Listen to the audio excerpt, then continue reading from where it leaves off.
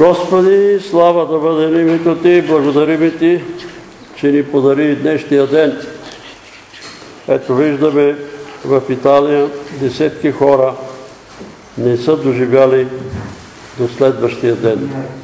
В 3 часа през нощта те са застанали пред Твоя престол, за да дадат отговор за живота си, за делата си, за това, което са изпълнили, което не са изпълнили. Затова и ние ще дойде време да дадем такъв отговор и затова те молиме, помогни ни така да броим дните си, така да живеем, че да придобиеме мъдро сърце, да се доближим по-близко до Тебе и по-близко до Тебе, да живеем както Ти беше в Отца и Отец, в Тебе, така и ние да бъдем в Тебе, Исусе, и Ти да бъдеш в нас, за да пропадем всеки страх и всичко това, което ни измъчва, което ни притеснява. Ти знаеш, че това наше събрание е за нуждите на Божия народ. Ние ти благодарим за тия, които си и царил и те молим и за тия, които още не са и царени, да ги докоснеш, да ги благословиш, да ги цариш, да ги укрепиш. Господи, ние ти благодариме за тия сестри и братя, които им даде сили да изповядат греховете си, да се оттърсят от беззаконията, да остават пътя на греха и да получат благословение, спасение и царение.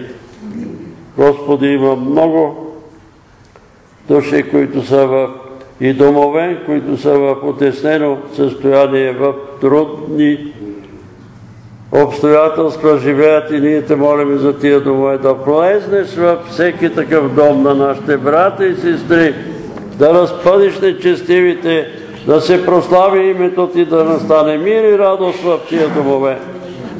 Не случайно си западал на апостолите, в който дом влезете, казвате мир на този дом. И ние те молиме за мир на домовете на християните в България. За мир на домовете на християните в Италия. Господи, днес е траурен ден там в Италия и нищо не идва случайно. Хората търсят причини в разни земетърсни области, плочи и така нататък и не търсят причината в греха. Ние те молим, Боже, да опази страната ни от катастрофални земетресения, от катастрофални наводнения, от терористични набези и от терористични действия, за да не гинат. Според нас, Господи, децата са невинни и загиват и деца, и възрастни. Ние те молим да опази страната ни, уповаваме на Теб, Господи, ето американци ще идват да пазят небето на България, но ние те молиме Твоите ангели да пазят небето на България. Алелуя! Благодарим и Ти, Господи, на Тебе оповаваме. Ето наближава време, когато ще гласуваме българите за президент. Ние обаче искаме Ти, Исусе, да бъдеш президент на България. Духовния свят Ти бъди цар и господар на България. И разрушавай плановете на сатана и на дяволите и демоните за българския народ. Господи, пази страната ни от всяко зло. Простирай ръцете си, души святи, и царявай болни, страдащи, измъчени души. И ние те молиме за сестра здравка, изпълния сега с силата на Святия Дух. Посетия свише отгоре, Господи, помилвай я. Молиме те за дома на сестра Розалия и за Кристина. Господи, докосни се до тая душичка и развърши от този демон, който измъчва. Молиме те за Любомила, за съвършено освобождение и царение и мир в душата и Господи, помилвай я. Молиме те, Господи, за Николай, който е получил някакъв припадък и някакво отклонение, объркване. Молиме те да го докосне сега, да го изпълниш и да го изцелиш и да очистиш главата му, артерии, вени, капиляри от натрупаните отрови от цигари, алкохоли, наркотици. Ето той се отказа, върна се. Ти го освободи от всички тия напаси, но последствията остават и затова те молим и ти да го помилваш и ти да регенерираш и възстановиш всички органи и системи в тялото на Николай. Господи, помилвай ни слава да бъде името Ти. В Твоите ръце се оставяме и Те молиме Ти да ръководиш това събрание, Души Святи, и да ни съветваш, изобличаваш, утешаваш, насърчаваш. Молиме Те, Господи, за тая душичка, която е в, болницата на Сточна гара. Докосни я, развържи от този демон, който измътва. Господи, помилвай я. Молиме Те за Петър, който страшно трудно понася тая химиотерапия. Господи, развържи го, сили му дай, мъдрост му дай, как да постъпи, да не би тази химиотерапия да го унищожи и да го убие. Смили си за този човек. Господи, молиме Те за Цветелина, за Йордан, за целият този дом. Молиме Те, Господи, за брат Йордан, за сестра Васка. Господи, ето, обади се преди малко и той казва, не съм много 84 години. Разбира се колко са една капка в вечността. Една капка укрепи брат Йордан, Господи, да могат сестра Васка да си се самообслужват, да се гледат двамата. Боже, помилвай ги. Молиме Те и за бизнеса на брат Георги, на сестра Йоанна и на други брати и сестри, които се занимават Благослови труда на ръцете им. Благослови това, което работят. Господи да благословява. Молим Те, Господи, за всички Твои люди. Помилвай ни, благослови ни с нас и в нас остани души святи и ръководи ни, изобличавай ни, поправай ни и ни царявай от всяка болест и от всяка немощ. В името на Господ Исус Христос молиме всичко това, Отче святи и праведни, поклон на святото Ти име, свято Тройце, един Бог в три лица. Амин. Да на президент свещеник за жената, която е болница на Сточна гара, едно разпятие на стената. И за онзи, който не може... За дъщеря ти, разпятие, страдание. Евелина. А? Ева. Ева. Ева, да, на Сточна гара. Разпятие. Да, на Сточна гара. Вижда разпятие. Значи това е да гледа на кръста Христов. Оттам идва и царели. Третото е за химиотерапията, не Да, на Петър. химиотерапия. Нема да имате. Значи, а, за бизнеса а, видях един такъв голям камък и чувам този стих. А, камъкът, който отхвърлят изидарите, стана глава на ъгъла. Бизнеса да държат главата на ъгъла и той ще им помогне и бизнес. Ама да се сещат по-често да се молят. Господи, благослови труда ни, сядаме да работиме, благослови ръцете ни, благослови ума ни и нещата ще върват. Тук има една песен 666 и се плаща от числото. Дай да видим да изпее. Да не се плашим. Ние сме ратници Христови, подкрепени с Божия мощ, Божия мощ, за борба с греха готови, та световна тъмна нощ, тъмна нощ.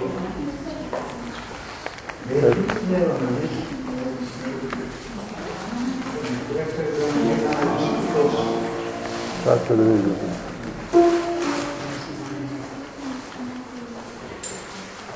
Сега Бог е изпя един път, ама Кой е иска? голямото Бог е изпя един път, ама И сме рад. Знаеш ли? Не. И сме ратници Христови, подкрепени с Божия мощ, с Божия мощ, за борба с греха готови. Тя световна тъмна нощ, тъмна нощ. Абе, аз я знаех, ама те сега аз съм е редици. Нас не плашат вид демони, реластител на плата, с меча остър Гедеонов ще ратуваме света. Стройно стегнати редици, към победа ще вървим, ни Христовите войници, волята му ще турим. Това е маршова песен, ама ето, като не се пее,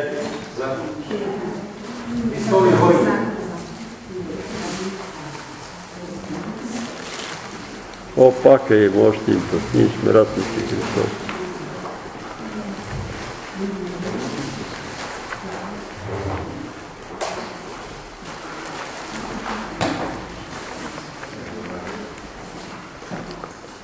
Тридесет и четири. Широка пътя към смъртта. Не, аз сигурно я знам.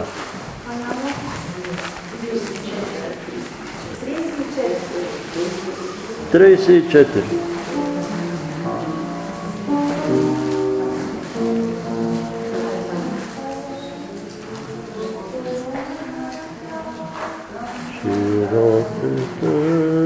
пътя към смъртта, през него хиляди вървя, а на Бога до мъдростта живот що води песни път.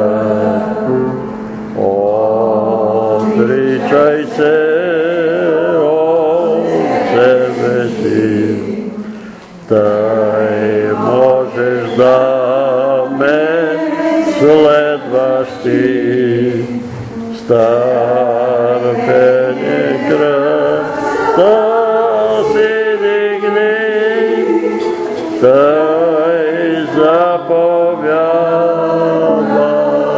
mazani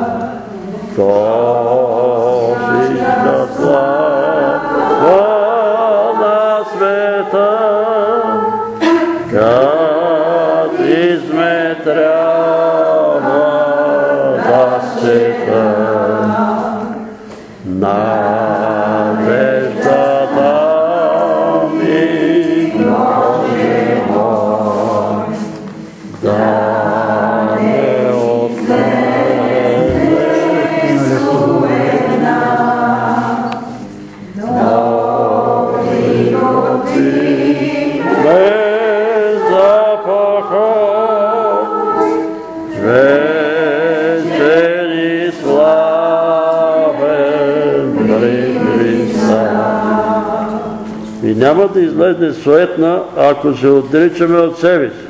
И ако взимаме кръста си и следваме Исус, и ако четем всичката земна слава за изглед. Това е. Но ни се струва трудно. Ама как? Ама сега той е световен шампион по еди коси. Ами онзи не знам какъв бил. Не знам, казахме че 18 души медалисти са си заминали без да стигнат до 30 години. 18 души медалисти между няколко олимпийски даваха ги по интернет. Двама са му убили, други ги убили, трети от преумора, гонене на слава. Пътувам по шосето гледам, въртат колоездачи нагоре, Саранския боец, мъчат се горките. За какво се мъчите? И дишат отровите и оловото на изпаренията на колите, за слава да станат шампиони. Какво като станат шампиони? Нищо. Нищо. Обаче това е демон. Това е опасен демон, гоненето на слава. И виждате, че някой се е самоубил. Ето, няколко такива шампиони, медалисти са се самоубили.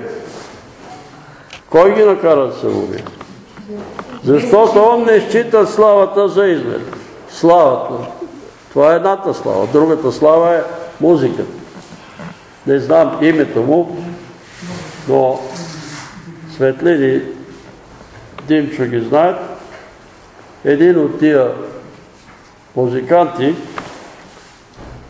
рок герой, световно известен, неговите приятели му казват, блажен си, толкова известен си, такава слава по жена. А той му отговаря, така е, но вие не знаете цената на тая слава. Каква цена? Продал съм си душата на дявола. Това е цена. Продадох си душата на дявола, за да стигна славата. А тук ние пеем измет. И после, а и тия, повечето от тексти заминават, не достигнали и до половината на дните, които Господ е определил. Защо? За слава и за величие. И дай Боже, надеждата на никой християнин да не се окаже суетна. Цел живот да ходим на църква, цел живот да пеем и да славим Бога и накрая да се водим в ад. Обаче аз знам, че има такива хора, които изобщо не ги, не ги страх и не се интересуват. Защото когато получих този мирен договор да го напиша, ми се казва, ето ги, ето ги, двама пастири и един мирянин. Нито песните, които ми пеят, нито проповедите, които ми проповядват, нито молитвите, с които се молят, ще им помогнат съдния ден. Наказанието за предателство е смърт. И аз отидах при първия, той вика, не е така. Отидах при втория, ти бе, ти ще минаваш акъл, ти си годил при баптиси. Третия обаче казва, вярно. Скоро станах член на партията, наш брат в църквата е станал член на партията. И те ми поставиха партийно поръчение. Да следа Петър Велев и да докладвам какво говори. А ние ходехме по градинките, след неделя, след всяка служба не се прибирахме по домовете, ходехме по градинките, събираме се, пееме, говориме си, идват нови хора, слушат ни, обаче един ден дойде една цяла банда младежи и казват да се махате от тия пейки, тия пейки са наши. Викам, чакай, как са ваши? Пейките са на общината. Не, тия пейки са наши. Чухме ви, че вие нещо говорите за Бога и че пеете християнски песни. Християни ли сте? Да, християни. Щом сте християни, трябва да се наредите тук в един ред, да ви ударим един по един песник от десната страна и вие да обърнете лява. Ако сте християни, и светли, какво да правим, брат Петър, какво да правим? Чакай, не бързай. Става един брат Стоил Гергинов, той тогава учеше в Духовната академия и за съжаление един от пастирите се подигра с него и каза, ти ли бе, ти ще ми даваш акъл, ти ще ставаш попник. А той стана, отиде при него и каза, Одрай!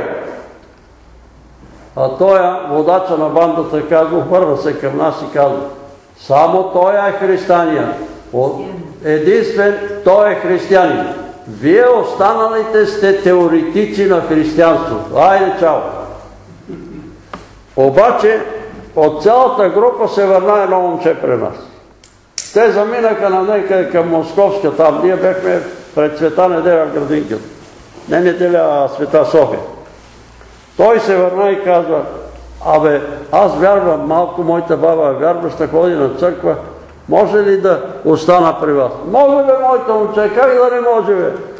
Как да не може? Радваме се. И това момче повярва. И аз си мисля, че ако бехме станали всички до един и бехме се наредили, цялата банда щеше да се обърне. Разбирате ли какво значи християнство на практика? А не само считам селото слава на света, ама тичаме по слава да се прославя. Ама считаме, ама я пеем, а иначе на практика какво прави? Кажете една песен. 267. Моля? 267. Борба непрестанна. 267. А че е борба, борба е. Моля? Абе,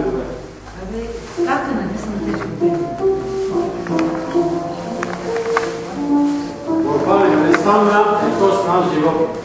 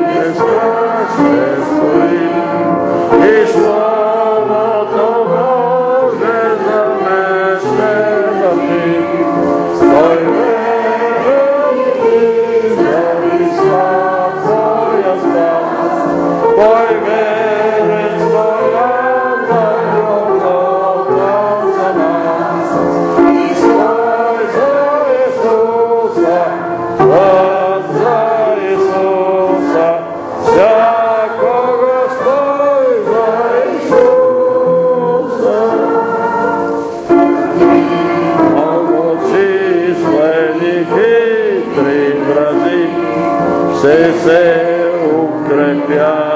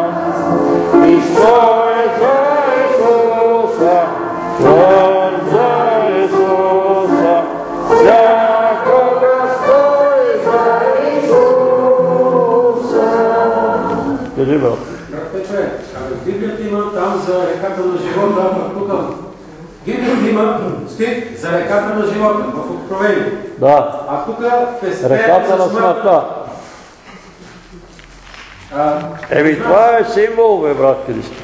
Това е символично. Реката е символ. Реката на живота също е символ.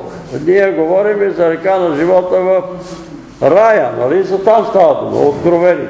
Ама там буквално пише, река, която изтича от престола на. Има, може да има някакво влияние от реката на смъртта, от езичеството, нали? Там езичните са вярвали, че трябва да си платят един грош и колко беше на лодкара да ги прекара през реката на смъртта. Но трябва да ви кажа, че когато се молиме за някой болен както се молихме за възкресението на едно момче, кое беше там от тия на Хазар Басанов от хората, аз видях това момче, че мина през реката на отсрещния брак и разбрах, че няма да се върне. И се молиха, плакаха, викаха и момчето си почина. Мина през една река и, и си замина. И много често съм сънувал мой братовчет а, точно на 24 май, празника на славянската а, писменост, аз бех се наредил за хляб там и една жена дойде и вика, брат ти, това, братовчет ти почина бе, братовчет ти, къде бе? Ма ето тук ела да видиш. И той пред една пейка паднал, питам жена му, какво стана бе, пейка? Ами ми как си седеше тук на пейка и си говорихме, пана напред и извън. И аз го сънувах, че е пред една река. И мина през реката и аз го питам от другата страна, какво стана бе Христос? Абе, стана ми нещо топло, вика на врата, тук и минах през реката. Стана му топло на човек, а той е получил инсулт. Толкова бързо става, а то е символично, не е минал през някаква река с краката и сърцете, а е минал с душата си. Минал е оттатък брега. Оттатъка, където са всички наши Нали, аз те разбирам, брат Христос, страхуваш се да не полетим по някакви езически вярва. Нема, надявам се, че редакторите на песента са имали предвид символично тая река. Минаваме от смърт в живот. Вече говорихме, нали, да не говориме за смърт, за умряли, защото всички в Христа Исуса са живи. Те са живи. Ама как ние ще говорим нали, за те, когато те са умрели, ама не са умрели, не живи са, само че са в друго измерение и са там при Господ и ще говорим за спасените, а не за тия, които за богохулници и други не говорим. Давайте друга песен. 576. 5-7-6. За мен тя се не За мен се се моли. Нейната песен.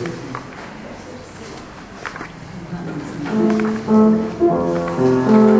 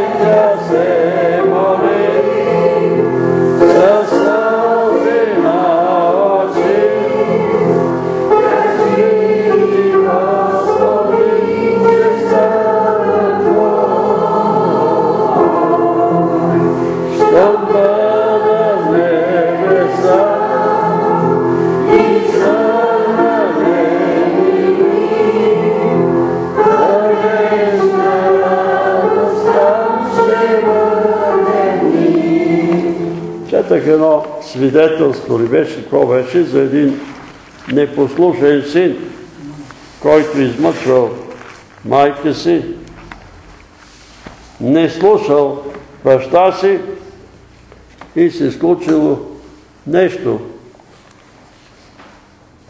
Случило се, че майка му починала. И той отишъл да види майка си, но хората го разпъдали и казал, махай си, не храни майко ти, биеше майка си, ти тормозеше майка си, не се докосвай до майка ти. Ама моля ви се, пуснете ме, махай се оттам. Но се оказало, че това е само сън. Събудил се и този човек се е променил. Майко, какво да направя? Ела с мен на църква. Това е, брати и сестри. Кажете на децата си, елате с мен на църква. Доведете децата в църквата, разберете го. Е, всеки ден ми се обажда стара Марта, се за нас. Ама елате на църква. О, не можем. Ма няма да стане вашата, вашия план, вашите схеми не върват. Аз ще се отдела на страни, ще се моля, ще поста, не знам какво ще правя. Отделен от църквата си мъртъв. Не може. Отрежали пръста и ще го сложа тук, нали? Ще го сложа в златни такива калъпки. Кажи, брат ми. Изпеем една песен с пак за една река. 566. Чудната река. Не за река. А, да пеме с още една река. Да. А, ти за другата река. Тази река ми по-харесва. Напише не точно както виждате, но ти казва символи, сега какво ги прави. Защото ми песен не само от Светия Дух, мисля, че има и човешки тук малко. Те има, не знам, това е нещо. Символи са.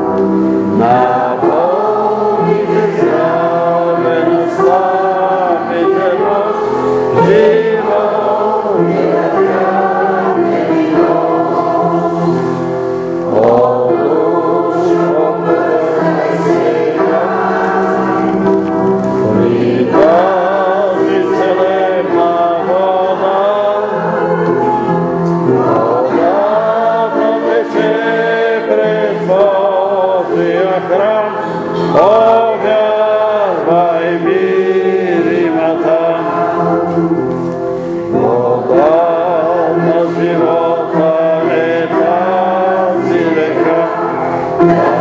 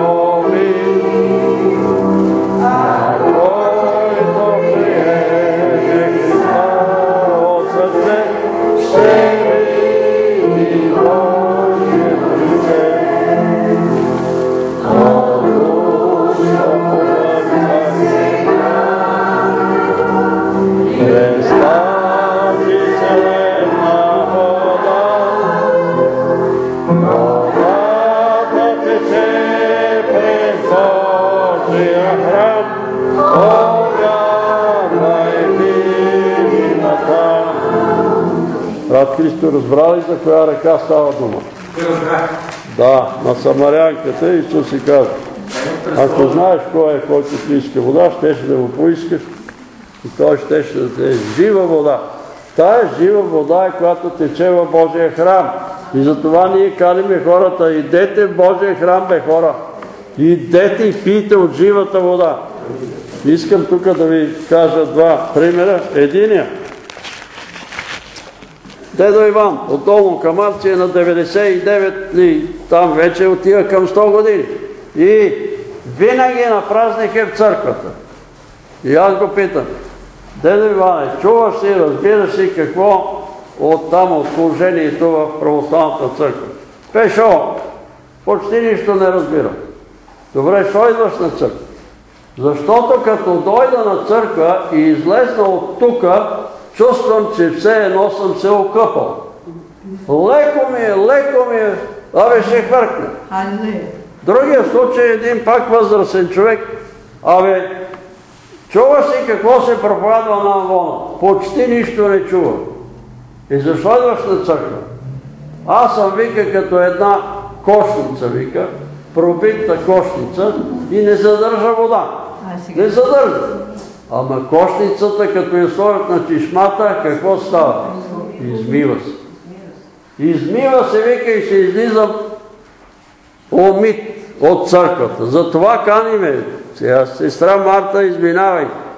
Всеки ден ми се обрава, молете се, молете се, молиме се, няма резултат. Бе, ела на църква, бе, тук на две спирки си. Не мога да хода, а когато се разболе Николай, всеки ден по два пъти ходеше в болница. А тук не мога да дойда. Нема оправдание. Това е лъжа. Не мога да отида на църква. Ако човек е парализиран, тогава може. Ама и тогава може да го качат на една кола и да го докарат тук да се молим за него. И Бог да го изцели. Нали? И тогава може. Антонета къде е? Тук идваше всеки, на всяка служба с две патерици. Всеки е тук седаше.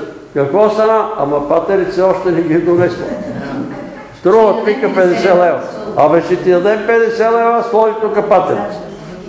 Освободи ли я? Освободи я. Защо? Защото идваше редовно, въпреки че едва ходиш. Това е. Тая река минава през Божия храм. Така е. Бог е наредил. Какво казва Господ? Знам. Евангелистите казват. А, това не може осветени работи. Няма осветени работи. Как да няма осветени работи? Как да няма, когато Исус Христос казва всичко в Божия храм се е освещавало Той, който го обитава. Как се освещава? Не знам. Не знам. Не знам, но се освещава. Валтасар пи с чашите, с които се служеше в Божия храм. И какво стана на стената, какво стана? Написа като да една ръка пише, мене, мене, така парците. Претеглен си на везните и си намерен недостатъчен. Царството ти се отнема от теб и се дава на това ближен. Защо? Заради едни чаши. Защо? И сега, некои пищат, ама защо така, ама защо иначе? Ми защото сте взривявали църкви, защото сте разрушавали домове, защото сигурно сте чули за кръста на Кръстова гора. Нарезал го е некой да го карат на... Какво беше? На отпадъци. На отпадъци. Един след друг умират и двамата му синове. И Господ му каза, бърни кръста горе на Кръстова гора. И той го е заварил, идете там да видите, че е заварен и го поставя където му е място. Защо? Защото има проклятие. Има проклятие да пипаш и да крадеш от църква. Нещо дигаш. Не си съгласен. Петре, а на две парчета го можа подигах, аз става бележка пише, умреха и двамата си синове и връщам кръста. И после се го завари във военния завод, защото той е някакъв много А, той е специален. Военния завод са го допълнително, брат Христо, аз малко, малко информация имам. Това е тайна. Пише там някъде ти може да кажеш къде е. Който пази светото, там ще бъде осветен. Това е някъде го пише. Така че пазете святите неща, пазете святото, внимавайте, не дейте се подиграва с това, което не разбирате. Нали, в Долу Камарци става въпрос и с икони. С иконите са идоли, те не са осветени. Свалят иконата от олтара, за да бойдиш от олтара, и слагат иконата до олтара и баба Попадия ритнала иконата да я помести. Крака и я заболя и цел живот куцаше и си умре с а, болния кръв. И така ще отиде. Защо? Ка нали е икона? Защо? Знаете какво стана? Никой не говори. Телевизията мълчи, радио мълчи, преса мълчи. Една година и два месеци. Преди 11 септември двата близнаца да бъдат съборени. Една банда от разбойници и антихристи се събират в един парк в Нью Йорк и си събират урината. Събират си урината в копи и пълнат един варел. И донасят от една католическа църква разпятието и го слагат в варела. И викат, Исус е мъртъв, Исус нищо не може да ни направи. След това взимат от една православна църква иконата на Света Богородица и донасят от зоологическата градина. Прочетете го в интернет, пише го там Дейвид Улкърсън. Слонски изпражнения и намазват иконата. Нищо не може да не направи Господ. И точно след една година един бум. Ама тия са терористи. Ама терористи Бог ги използва като къмшик. Бог ги използва като къмшик. Когато се гавраха във Франция, в Париж, как се казва това списание, аз и знаех, че ще дадат Бог. Нема начин Бог да ги остави. Те се гаврят с Мохамед, гаврят с Исус, гаврят с Святия Дух, гаврят с Бог Отец, гаврят се и ще изядат Самара и го изядат. И сега, ама уния са терористи, ама терористи са. Ама Хитър бил, ами Хитър, ама Хитлер е къмшик в ръцете на Бог. Ама еди кой си, ами така е, така е. Така ще бъде. Бог поругаем не бива. Нема да стане. Сега, тук ме пита сестра, нали, здравка, неква сестра, иска да обясня за тия плочи за метърсни. В Библията не ми земетръсни плочи. В Библията пише, земетресението е приготвено за наказание на нечестивите. Земетресението е приготвено. Плочи, не плочи, това е положение. Плочи. И сега, казвам го това, защото его сега аз ме е страх за България. Тия, които сега там си измичния център говорят, България не е земетръснала, няма да стане земетресение. Почвайте така да говорят, бъдете сигурни, че стане земетресение. Точно обратното става. Излезна един на времето, 60 коя година беше и коя година беше и петали там некъде, пътувах за Дрезден и вечерта гледам телевизия. И директора на авиокомпания Балкан излиза. България, българската авиокомпания е единствената, която в света не е зарегистрирала катастрофа. Викам, леле, и аз тази вечер ще пътувам. Аме, глупако, това ли трябва да говориш, бе, да се хвалиш, бе? Качвам се на самолета и трепера, като цвети. Обаче дойдоха, вика, екипа за Дрезден да слиза от самолета. Ил-18. И ни качиха на един немски самолет, Ил-14. Обаче, като се качих на немския самолет, аз си казах, а ако стане катастрофа, ще стане с български. А аз ще пътувам с немски. Господ ни сваля от това самолет да ни запази душите. Да ни запази живота. Обаче моите колеги бехме там, не помнят, 20 души или колко бехме. Ония баровци, нали са баровци, ония там ще летат с Ил-18, а ние с тази таратайка има да ни друсат в Германия. А ония баровци били една делегация от Перу, членове на Централния комитет на Перуанската комунистическа партия и ни свалиха нас, да те да летат. И като отидахме в Германия, един полицай дойде с един вестник, българин ще под български самолет е катастрофирал. Той е самолет, от който ме свалиха. Разбирате ли, когато Господ иска? Затова не трябва да мрънкаме и да мърмориме, защо ни свалиха. Тук защо ни свалиха от този автобус, защо ни свалиха? Ами свалят ви, защото Господ иска да ви опази. А като има един само, некои казват, ако ти беше в този самолет, Бог заради теб ще да запази и перуанци. Е, да, ама мен ме свалиха. Какво да правя сега? Защото съм сигурен, като тръгнах за Франция, една сестра скочи, внимавайте пророците, като имате видени откровения, защото много е тънка границата между лъже пророчеството и истинското пророчество. Става си стъп. О, виждам една катастрофа, брат Петър загива с самолет. Обаче аз не повярвах на видението, защото имах мир. Като се моля имам мир. Качвам се на самолета, нали за вас може да е лъжа, за мен е истина. От лявата страна ценах на самолета и гледам над крилото. Една звезда. Пулсира. Над върви заедно с самолет и пулсира. Бог е пратил ангела си да ни пази. Това е Божия. Водих, върнах се от Франция. Е, сестро, какво стана? Самолета не падна. Ама нали се молихме да не падне? Да, бе, така, молихме. Молихме се да не падне. И е така. Не бойте се, цвети, сега като ти говорят и сега няма да смее да летиш.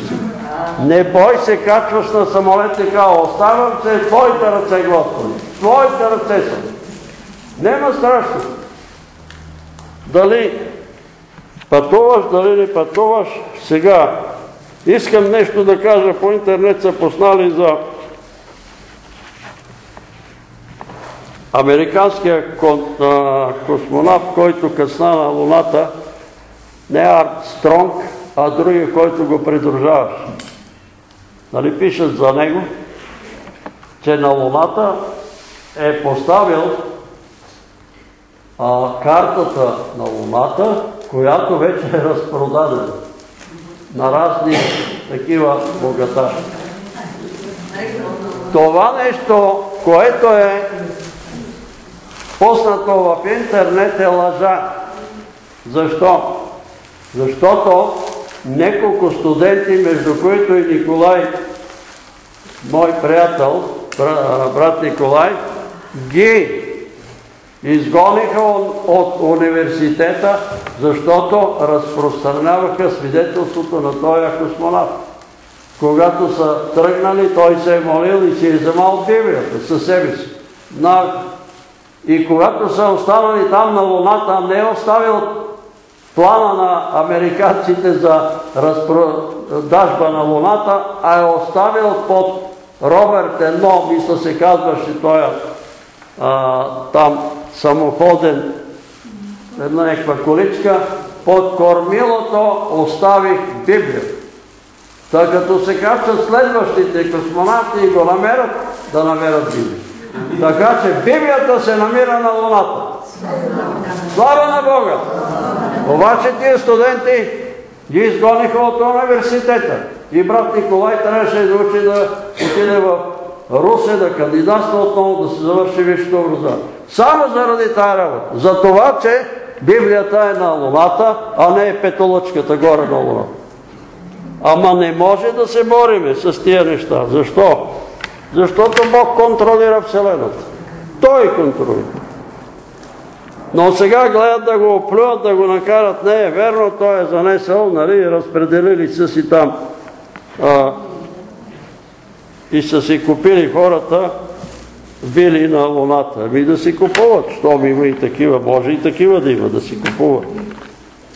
Ние стигнахме във второто послание на светия апостол Павел до Солоняни. Така пише тук Солоняни. Първа. Павел, Силуан и Тимотей до Солонската църква в Бога Отца нашего и в Господа Исуса Христа. Благодат вам и мир от Бога Отца нашего и от Господа Исуса Христа.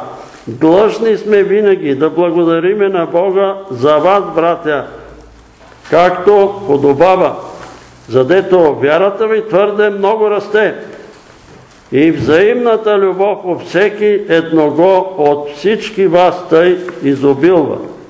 Че сами ние се хвалим с вас в Божиите църкви за вашето търпение и вяра при всички гонени и скърби, що принасяте. Това е доказателство за праведния Божий съд, че вие ще се удостоите с Царството Божие, за което и страдам. Защото справедливо е пред Бога да въздаде скърб на ония, които ви оскърбяват, а вам оскърбяваните да въздаде отеха заедно с нас, когато Господ Исус се яви на дебето с ангелите на своята сила. В плавенен огън да отмъщава на ония, които не познават Бога, които не се покоряват на благовестието на Господа нашего Исуса Христа и които с вечна погибъл ще бъдат наказани от лицето на Господи от славата на Неговото могъщество. Когато Той дойде, за да бъде прославен в оня ден сред своите свети и за да му се удивляват всички повярвали, а също и вие, понеже с вяра приехте нашето свидетелство.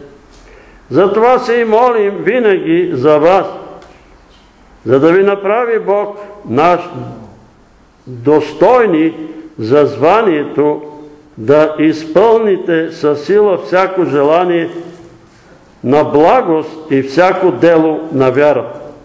Та да се прослави във вас името на Господа нашего Исуса Христа и вие в Него по благодата на нашия Бог и на Господа Исуса Христа. Амин. Може да седнете. Какво ми направи впечатление в първата, тая първа глава? Думата Господ е спомената на седем места, а Господ Исус Христос на шест. Разбирате ли какво ни подсеща апостол?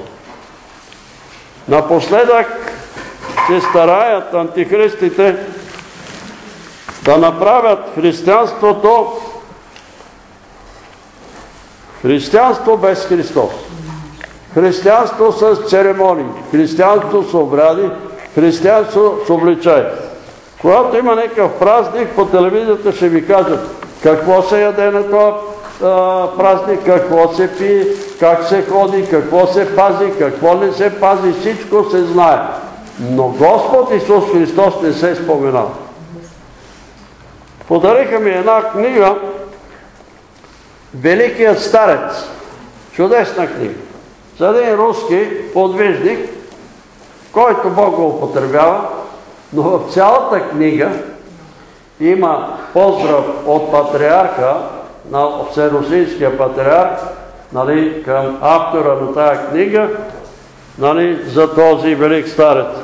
Цялата книга само на едно место пише, че майка му е вярвала в Исус Христос. И Господ Исус Христос го няма в цялата книга. Християнска книга без Исус Христос. А тук една глава само, на седем места апостол Павел говори за Господ Исус Христос. Господ Исус Христос. Господ Исус Христос. Не може християнство без Христос. Не може. Слушах една миналата или по-миналата неделя благовестие и беха поканили някакъв професор, доктор, не знам какъв си, и го, водещата го пита, задава му въпроси, то Христос така, Исус така, Христос така, Исус. Пред цялото предаване не нарече Исус Господ. Не нарече Исус Господ. Трябва да ви кажа, че има и такива проповедници. И аз съм слушал мнозин. Исус казва така, Исус така, Исус. Кой Исус бе? Знаете ли, че в България има над 2000 души, които носят името Исус? Над 2000. Между които един евангелски пастир, Исус Пенчев, пастира на 50-на църква в Руси. Той също се казва Исус. Исус, Исус, Исус. Не смеят да наречат Исус Господ. Защо? Защо? За кой Исус става въпрос? Мара Вирчева, бабата на Виктор Вирчев, се молили и казала молитва. Господи, благодаря ти, че не съм като, като православните идолопоклонници и като католическите идолопоклонници, които се кланят на нейните идоли. И изведнъж чува властен глас. Вие сте идолопоклонници. Ма Господи, ние не имаме ни икони, ни статуи, нямаме нищо. Какви идолопоклонници? Вашите устави и вашите доктрини, с които изопачихте Словото ми, са вашите идоли. Са вашите идоли. И ние ще говорим сега за една такава доктрина, грабването на църква. Вярвате ли, че ще стане грабване на църквата преди голямата скърб? Знам, че вярвате, но това е лъжа. Това не е вярно. Грабване на църквата ще стане, когато дойде Исус. Пише един път, два пъти, прочетете си тая глава, бе, в, а, в Марка. Прочетете и вижте какво пише. Тогава, когато няма да може да се спаси нито една човешка душа. Заради избраните Господ съкръщава ти. Съкръщава заради избраните. И ги питам пастирите, сега на 50-ти пастири. А избраните какво ще станат? Ами избраните ще останете, вика ви избраните, за да ви изпита Господ, па нас ще ни грабне. Те ще ги грабне, ние ще останем. Добре, но ние ще продължиме тук с тая глава. Неколко неща искам да прочетеме. Абе, Панчо, къде ми ги даваш тия работи?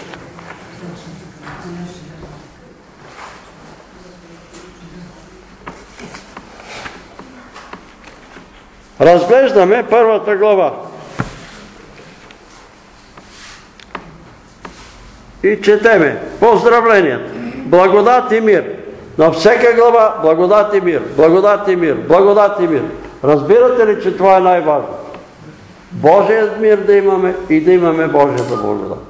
Защото, ето брат Иван ще ви каже Стара Мария, в техния дом няма мир.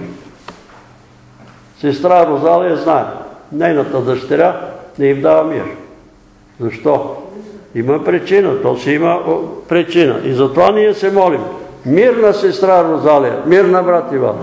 Мир и благодат. Без Божията благодат. Ама нищо не може да направи. Може да се напъваме, да правим каквото си искаме. Не ни ли да даде Господ благодат, нищо няма да стане. И сега, апостол Павел се хвали с солунците, за това, че те имат голямо търпение и понасят скърби и голени. И това е доказателство за праведния Божи съд, че вие ще се удостоите с Царството Божие, за което и страдате. И за това, мили брати и сестри, трябва да знаем, че ако страдаме за Христа, и ще се и прославим с Него. Така казва апостол. Ако страдате, ще се прославите. И всеки за себе си да си даде сметка. Страдал ли е малко? Аз знам, че брат Димитър е страдал. Бил е в затвора малко. Заради Христа. Когато питах следователите, защо брат Димитър е в затвора, а те ги обвиняват, че там нещо краднали дървен материал, като направили, нали, идете в Конгрешанската църква и вижте как е изработен. А този дървен материал се окачва на колите и се окарали на, да го обработват на, там на дърводелски машини. Обаче доносниците са писали, че ни го карат дома. Имаш ли много дървен материал? И за тая работа го съдат. И аз ги питам, за какво ги осъдите? И за какво? Как за какво бе? Те развиват трескава религиозна пропаганда. А, разбрахте ли за какво се съди? Заради трескава религиозна пропаганда. Затова ги са. Затова, че ако някой от вас страда заради Христово име, да въздаде слава на Бога. Това е белег, че той е абсолютно сигурен, че той Господ ще го прослави. Отиваме с сестра ми в Зъбчето, втора 50-та църква и пастира на вратата, сестра не съм ви виждал тук, виждал тук, вие откъде сте, от София, откъде сте? Ами да, аз съм сестра на брат Петър. А, на брат Петър си сестра. А къде работите? Ами в Радио София. И аз вътрешно чух, предаде. След два дена сестра ми и връчват заповед за уволнение. Няколко дни преди това беха наградили с златен орден на труда 20 годишна а, годишен стаж без никакво, нито едно отсъствие, без, работа. И след това по непригодност. Защо? Защото я предаде. Защо питаш къде работи? Къде питаш къде работи? Но сестра ми, нали, вярва, като и казвам, че той е предал тази. Не е верно, не е верно, не ми вярва и до сега. Аз чух, предаде. Завеждам една моя първа братовчетка на първа 50-та църква. Пастира дойде, вижда нов човек. Сестра ви откъде сте? От София съм. Къде живеете? Дома си живеете. Къде работите? На едно и също место работите. Обаче тя е по-такава, по-хитра. Братовчедите и викат, тя Лида се казваше, покойна е милата, сигурно ми казва, че миналата година падна назад и си удари главата по столите, две турби с такива буркани и така си премина. Обръща се към пастир и казва, извинявайте вие да не сте от следствения отдел. И той се тръгна по пътеките и се върна. Какво те интересува къде живее и къде работи? Питай я, вярваш ли Бога? Кой според тебе е Исус Христос? Вярна ли е Библията? Словото Божие вярно ли е или измислица? Отивам на църква в доктор Лонг. Там ходи брат Панчо. Ай, сестра Цетка ходи. Свършва службата, обаче там беха Божия църква. Брат Павел беше и като ме виде там, о, брат Петре, добре дошъл Божи човече, къде ходиш? И след службата идва при мен едно лице и каза, брат Петре, здравейте, викам здрава желая. Откъде сте? От София. А къде живеете? Ми дома си живея, научих се от братовчетка. А къде работите? Ма викам работа си на едно и също място. И се обърна към него и каза, Господине, извинявай, или другарю другарю, за толкова много информация е необходима легитимация. Покажи си легитимацията, че си агент и тогава ще кажа къде работи. Е, как може да ми нямаш доверие? Какви сте такива да нямате доверие на хората? Ма какво те интересува къде работя, бе? Какво те интересува? За да ме предадеш. И затова се връщам назад. На тия предатели, нито песните, които ми пеят, нито молитвите, с които се молят, нито молитвите, песните, нито проповедите, които проповядват, ще им помогнат съдния ден. Наказанието за предателство е смърт. И затова ги призовавам моите братя, доносници и предатели. Не казвайте, ние сме се покаяли. Ела при мен и кажи, брат Петър, аз съм писал донос против тебе. И тогава ще бъдеш освободен. Защото Румен Николов ми казва, всеки ден пишат против теб донос. Едни пишат едно, другите точно обратно. И аз не мога да разбера кой е истина. Не мога да разбера кой е истина. Затова съм те извикал да ми кажеш истината. Не можеш да знаеш истина. Защо? Защото си повервал на лъжата. Вярваш ли на лъжата, има истина. И сега искам тук да прочетеме тия стихове, които са дадени, за да видим и на други места какво казва Господ по тия въпроси. Едното е римляните,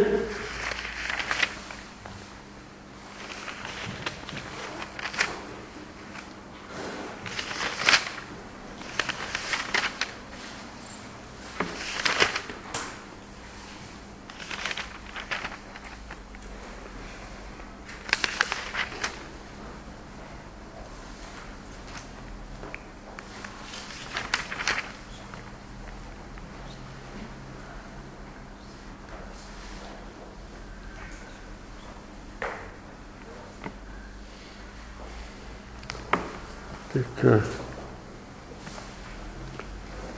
Е, осем.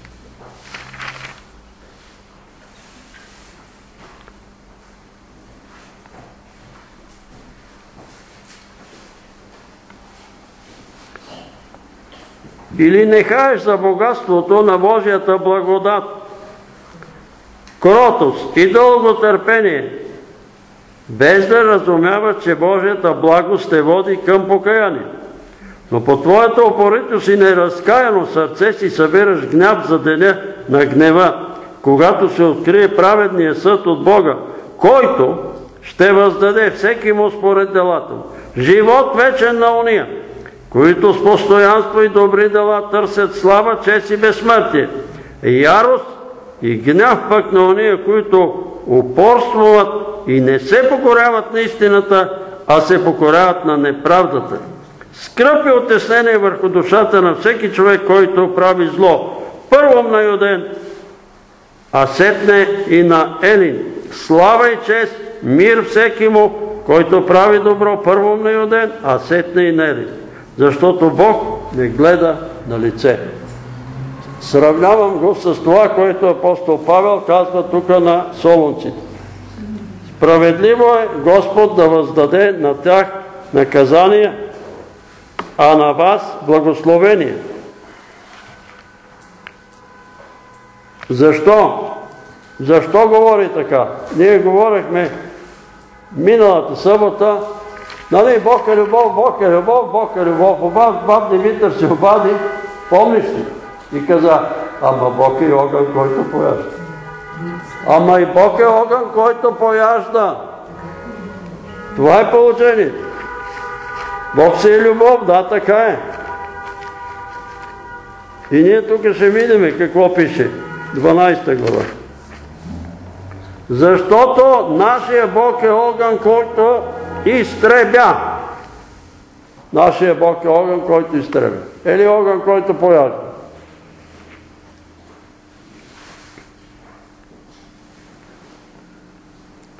И тъй ние, като приемаме царство непоколебимо, нека пазим благодата, с която да служим благоугодно Богу с благоговение и страх.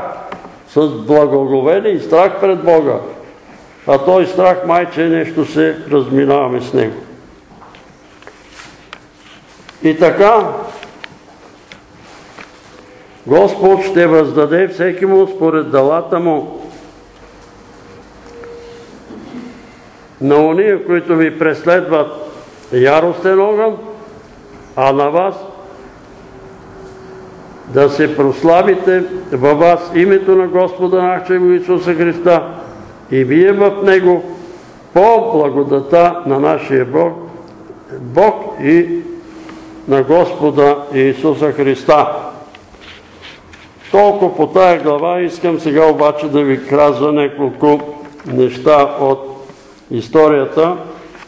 И сестра ми и други си, че говори само по това. Не да говори странични работа. Аз обаче съм убеден, че това трябва да ви го кажа. Защото вие чухте, ето, кой каза за Ценка ли каза, кой каза за Ани Петрунова. Ани Петрунова от Америка говори, че аз се познавам.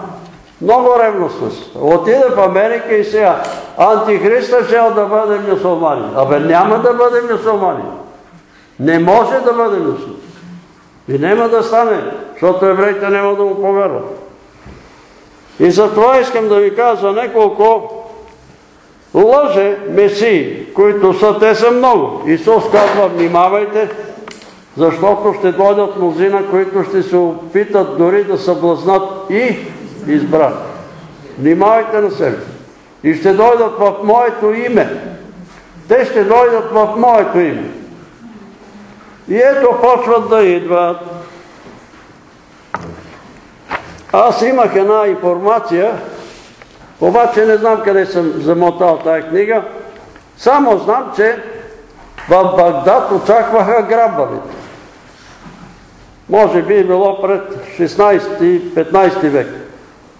И всички човеци в Багдад се обличат в бели дрехи и се качват на покрива. Те там къщите са равни отгоре, на покрива си пият кафето. И чакат цяла нощ грабването, защото според тяхната вяра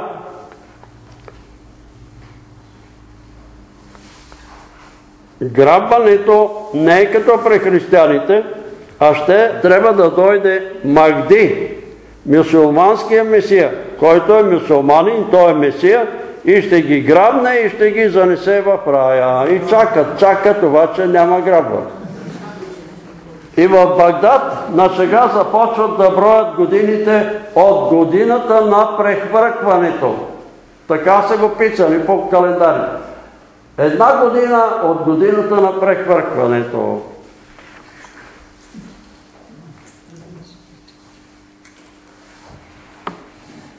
В 1648 година се появява един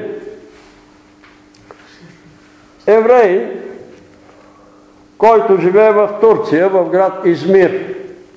Може би за него говорят пастирите, че сега повтарят историята. Той шел да бъде турчин. Казва се Сабатай Цви.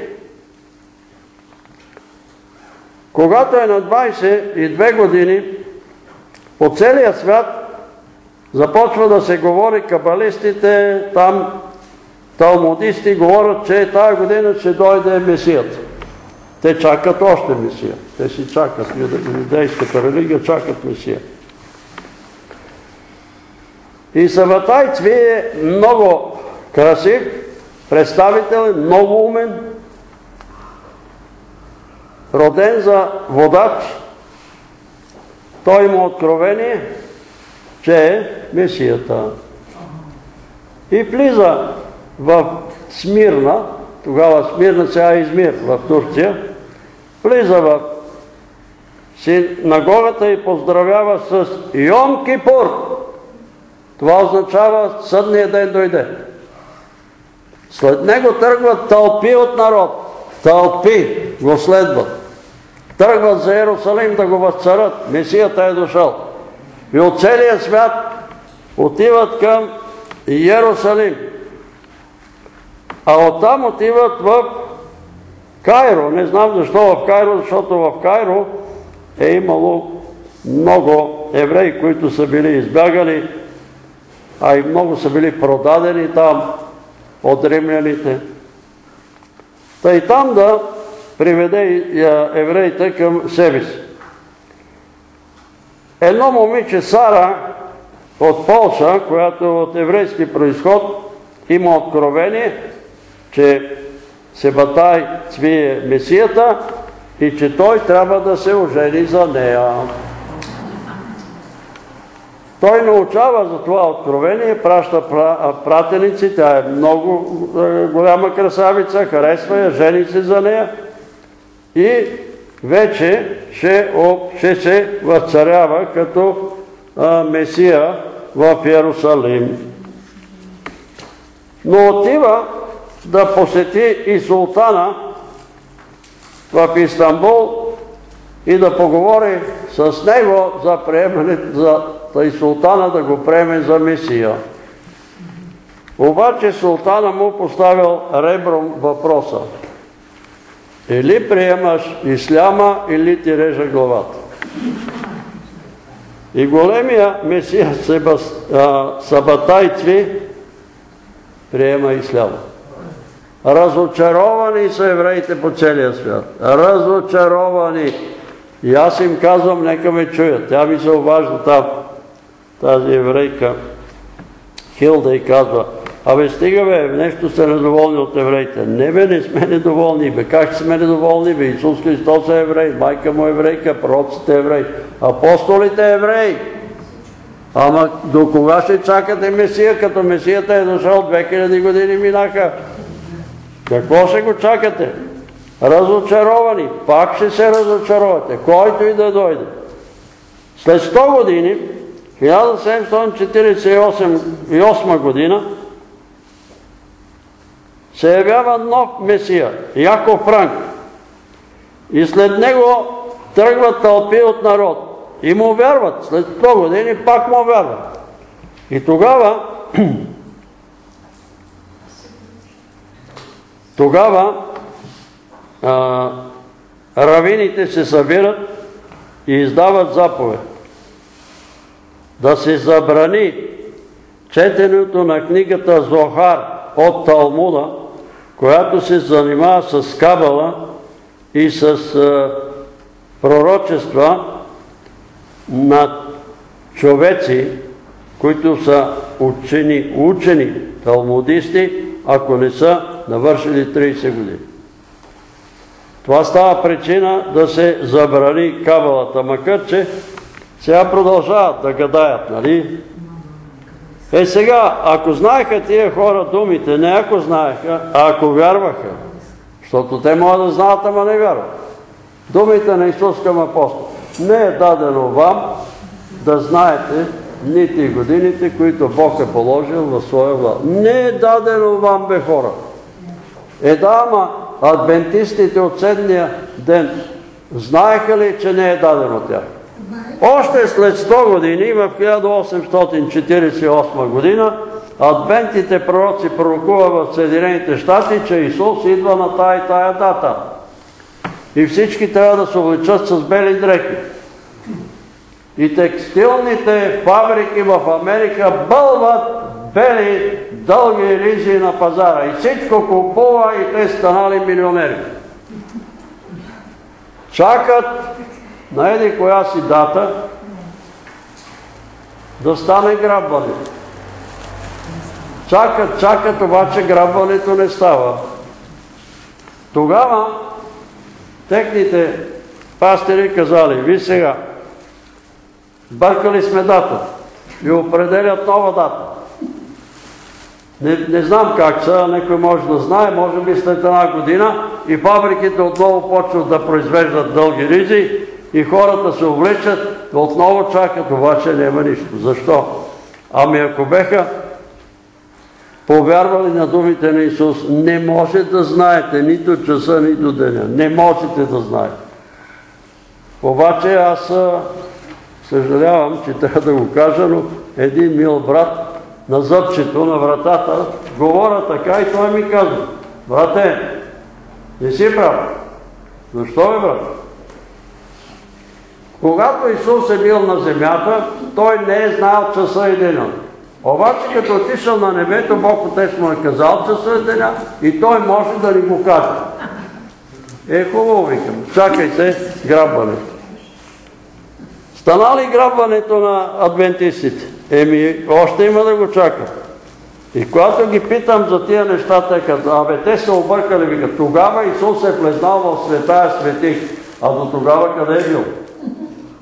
Къде е бил тогава? Ми той е бил преди светия. Е, значи 2000 години ще седи пред светия. Какво четеме?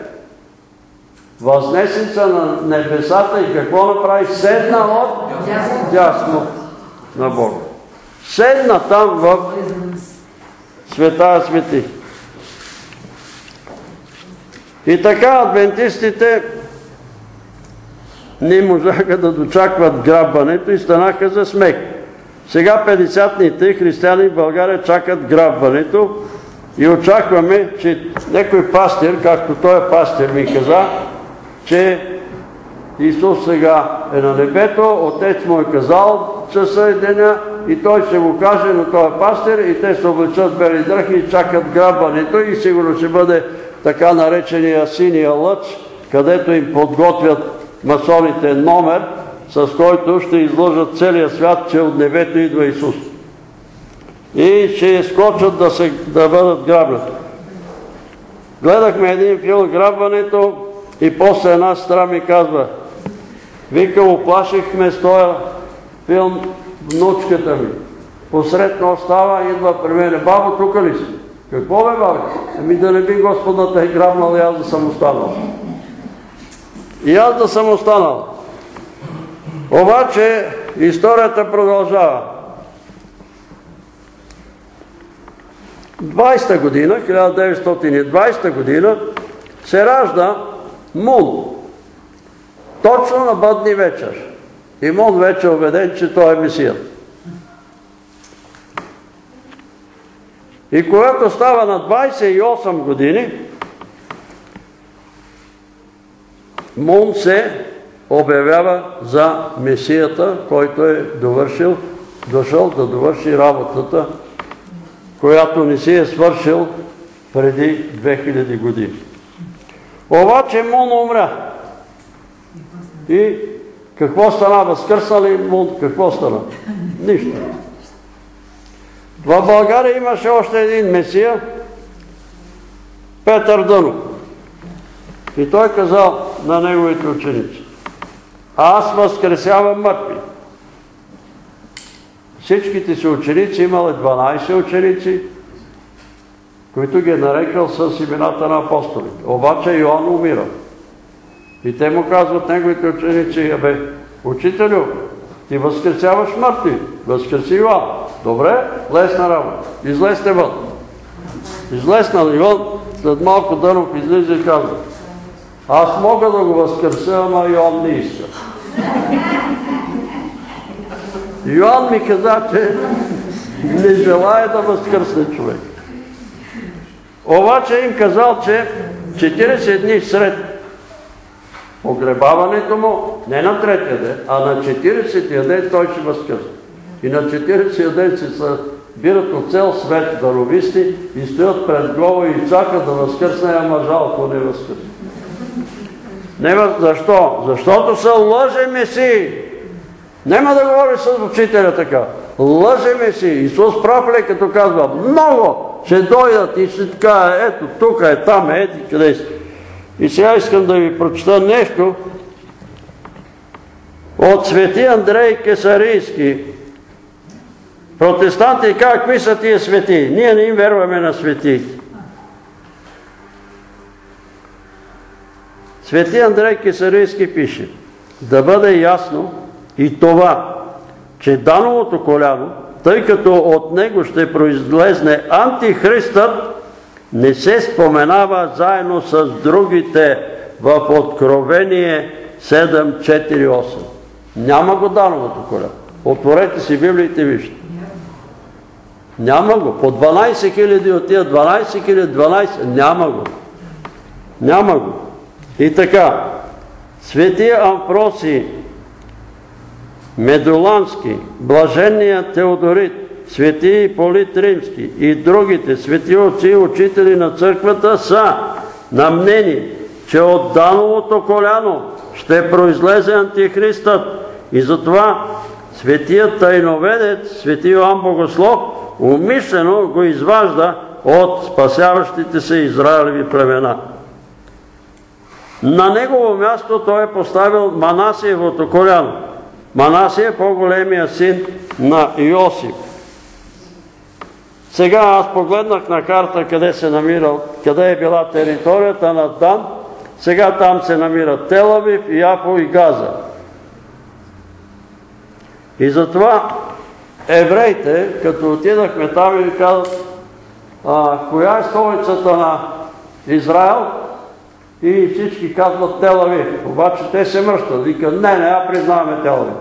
И аз казах, Иерусалим е стойте. Слава на Бога! Иерусалим е столица на Израел. Не признават Телавив. Не знам защо. Обаче се радват на Иерусалим. А Иерусалим е в територията на Вениамим, а под Иерусалим е Юда, надолу. Това, между другото, ви казвам, не дейте вярва на тия велики учители. Ето, заблудили са сестра ми, тя ми носи разни папки там. Еди кой си сега ще се яви, той ще е турчин, той ще е, сигурно е той Ердоган, не знам какви. Абе, какви са тия пастири, бе? Как смее да го говори това, че ще бъде турчин? Как смее да говори? Той ли не разбира, или са му заповядали да говори, че антихрист ще бъде турчин. За да настрои народа срещу турците. И когато чух тия работи, аз си спомних за едно детенце, което дойде в Кипър, боли го томакчето и плаче там. И аз го питам как се казва. Що ми казвам, аз не мога да го запомня. турско име, Юдарай, Юдарай. Разбирате ли вие? Юдарай. И после ми обясниха. Юда и Рай. Събираш ги и става Юда Рай. Помолихме се за това турче и стомахчето умина. И после всяка вечер идваше при мене. Това беше на 6-7 години. Турче, турчи. И какво? Сега да се настроя с това детенце. Отидахме в едно село Турци. Една жена иска да се самоубие. И аз се молих за тая, гоних дух на самоубийство от нея. Брат Томи Караколев отида на другата година и каза, знаеш ли, водил се там едно село Турско и една жена, която е била болна от рак, Бог я е царил, ти се молил. Ама аз не знам за така жена. Ама аз гоних дух на самоубийство. Ама те казаха, че тя знае, че е болна от рак и искала да самоубие и сега е жива и здрава. Туркина. Е, какво като е туркина? Какво като са турци? От всяко племе, народ и език Бог ще си избере свой наследници и своя наслед. От всяко племе, разберете, китайци, корейци, американци, руснаци, каквито и да са. И не ги вярвайте тия измишлетини. Арабин ще бъде антихрист и при това турчин. Мюсулманин той и при това турчин. Нито едното е верно, нито друго. Ще бъде еврей. Това е истината. Това ви го казвам, нали, между другото, а сега тук има доста бележки, след това ще се молиме, да не се удължава времето. Три и нещо е. Молете се за ицерения диабета на 5 годишната Деляна, която е на инсулт. Всеки ден по 10 пъти се боде малката ръчичка, сестра в Бога. Молете се за изцелението на херния и пердета на очите на Лиляна, сестра в Господ. Сестро, това детенце или тези родители трябва да дойдат и да седнат тук. Ако иска детето да бъде изцелено. Нема да стане така с тази бележка. Пеяхме тая песен. Водата тече през Божия храм. Тук, през Божия храм. Или там, некъде в друг храм. Трябва да дойдат. Не е, болно, не е само това дете. Маса деца има болни от диабет. Няма да ги изцели го. Защо? Защото иска родителите да се покаят. Иска да спаси родителите чрез страданието на детето. Ама защо детето? Нарочно. Защото ако теб те мъче, ще търпиш. Ама когато е детето ти, много ще те боли. И затова трябва да се покажеш. И тия родители трябва да се покажат и си изпадат греховете и детето ще бъде изцерено. Защото сме свидетели на хора изцерени от диабет. Неколко души бяха изцерени от диабет. Между тях Елена Занкина, знаете. Колко години я тикаха докторите на сила. Не е възможно, диабета не е лечима. И лечима е. Отива 10 пъти си мери 5. Захар 5. Захар в кръвта. Това е. Това е, казвам го, ние ще се молиме, но правиме една формална молитва. Боже, изцери детенцето Диляна и толкова. Детето е Диляна. А Бог иска родителите тука, майката. Изневерява ли на мъжа си? Изневерява. Те изневерява ли? Изневерява. Молиме си детето оздравява. Тогава. Тогава се получава и царение. Иначе няма да стане. Служеше ли на Антихриста? Пише ли доноси против брата и сестри? Писах. И тогава получаваше изцерение. Разберете го, защото и да получи изцерение, ако не се утвърди във вярата, болестта се връща. Два случая само ще ви кажа, аз съм ви ги казвал. Единия, Савка Шипкова на генерал Шепков, командващ ракетните войски на България. Жена му е лекарка, генерал Савка Шипкова, доктор Савка Шипкова, се разбола от рак на белия дроб. Покани ни да отидем и да се молим за нейното изцеление. Отидохме, молихме се и Бог е изцели. Бог е изцели, но тя не дойде в църква. Остана си там сама да се моли, защото е доктор Чипкова и тя, нали, ако е бил 50 нали, някаква църква, може да я уволнат. Или прави жена на генерал. След 10 години ни покани мен и сестра ми, тук пред Бога ви говоря, да ни каже, че са минали 10 години от нейното чудесно изцеление от болестта рак. И сега, като я виждали професорите от правителствената болница, клатали глави и казвали, стават и чудеса. А те беха казали, остават и живот 5 дни. А тя на петия ден отиде пеша в правителствената болница. Но когато излизахме от нея, тя ни покани кафенци, някакъв кек беше направила, като излизахме от нея, на вратата каза, впрочем аз никога не съм била болна от рак. Това е. На следващата седмица те имат такива така наречените домашни помощнички, не човечки, се обажда нейната домашна помощничка и казва, брат Петре, молете се за сапка. Рака се е върнал и е поразил сега и черния дроб. И аз застанах тук и казвам, брата и сестри, 10 години сестра Савка Шивкова беше здрава, Бог е цари от рак на белия дроб, но сега какво е станало?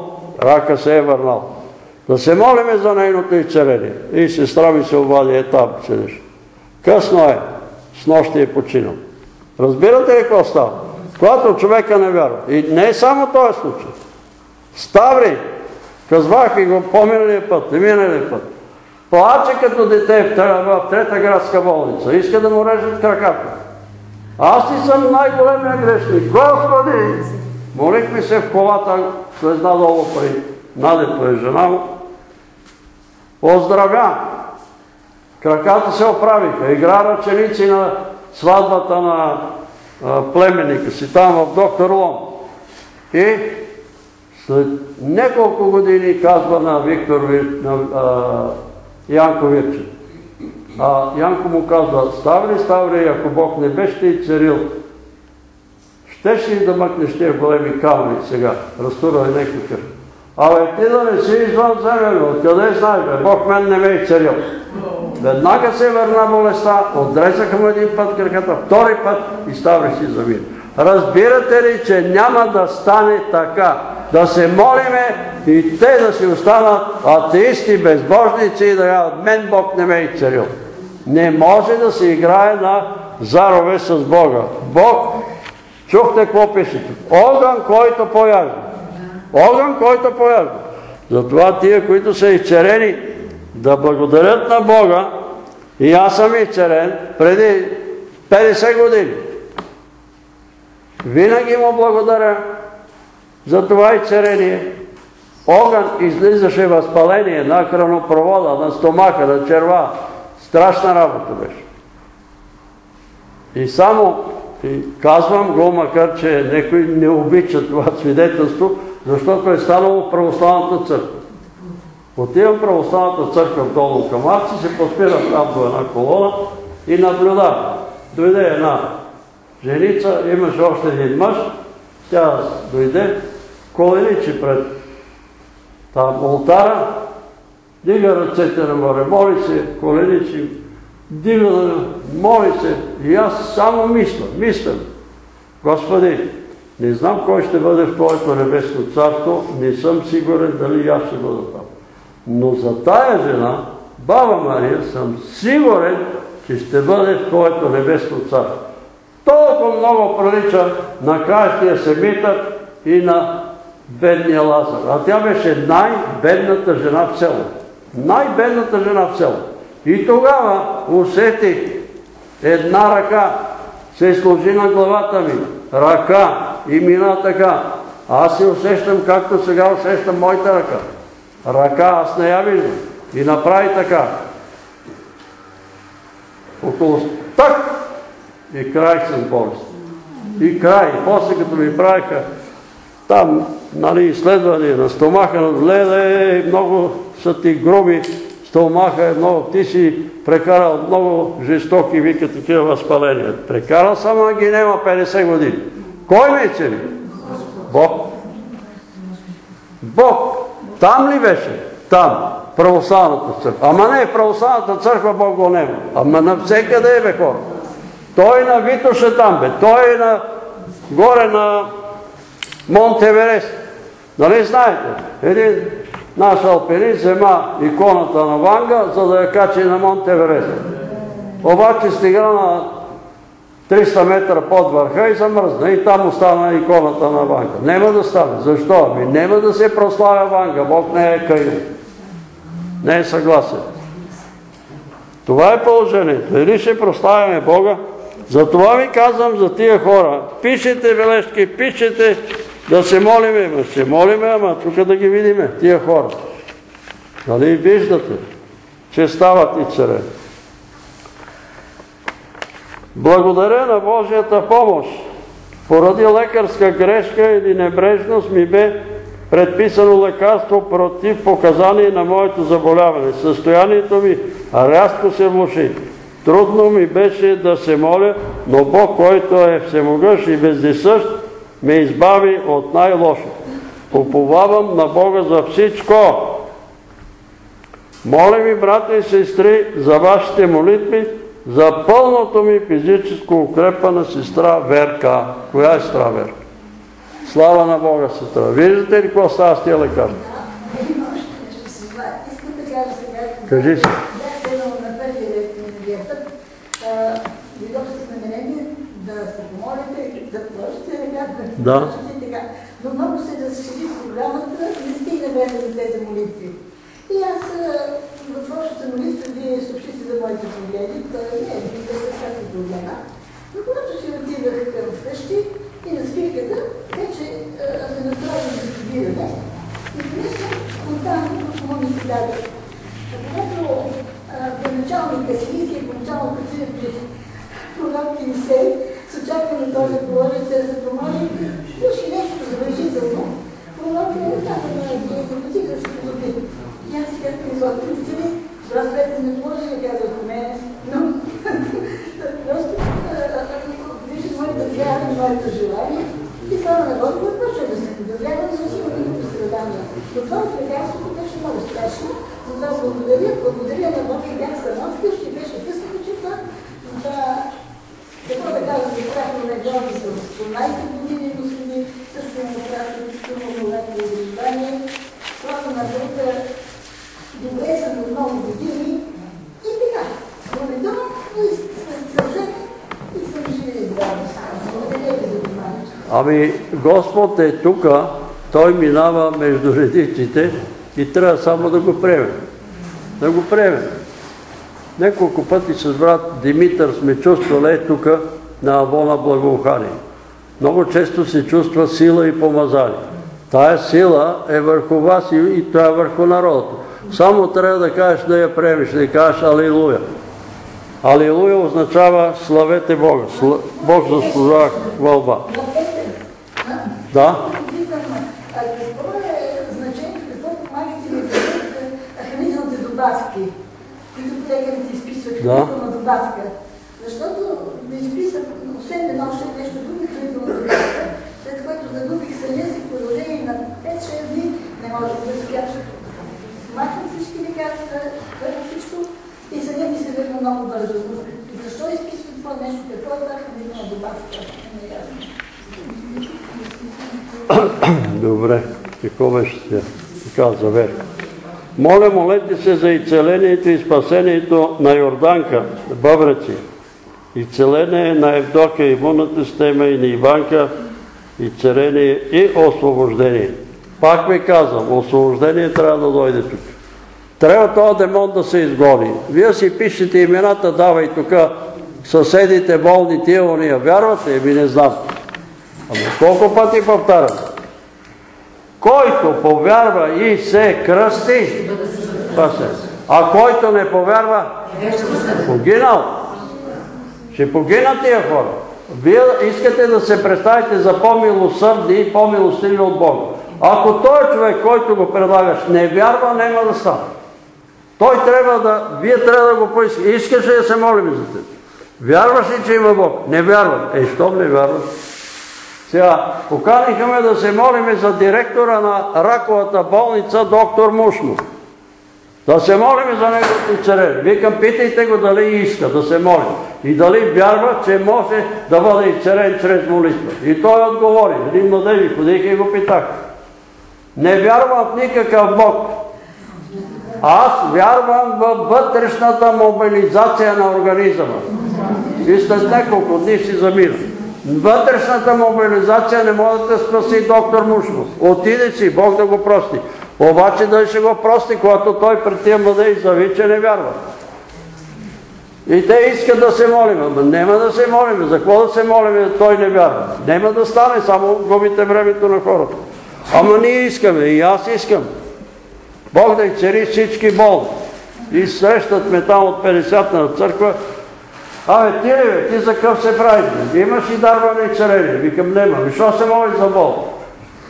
Еми, защото така казва Исус, повярвалите ще се молят на болни, болните ще оздравяват. Аз съм от повярвалите. А дарбите са на Святия Дух. Те не са мои. Той ги разпределя както си.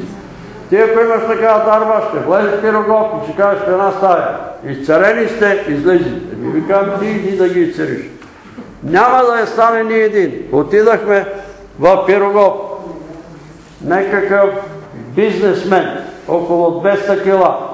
Казаха, че на едно ядене яде по 30 кебабчета. Не знам колко по 3 кила вино. 200 килограма. Брат Петре, да се помоли за този човек. И той лежи, проснал се там и така. Викаш, викам, искаш ли да се молим за тебе? Ами, добре.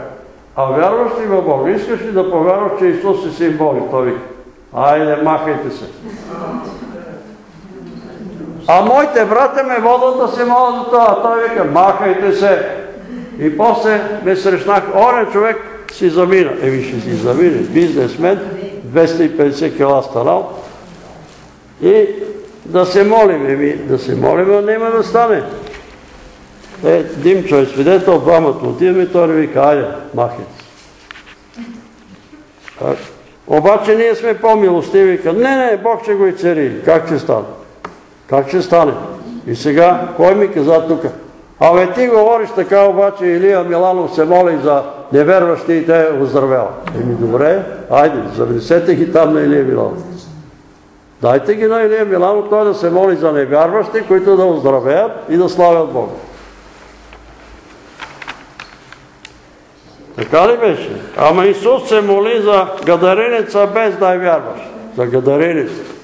Ама Исус е Бог и той знае, че гадаренеца няма кой да го защити. Кой да го защити гадаренец? А и той си имаше и друг план с гадаренеца.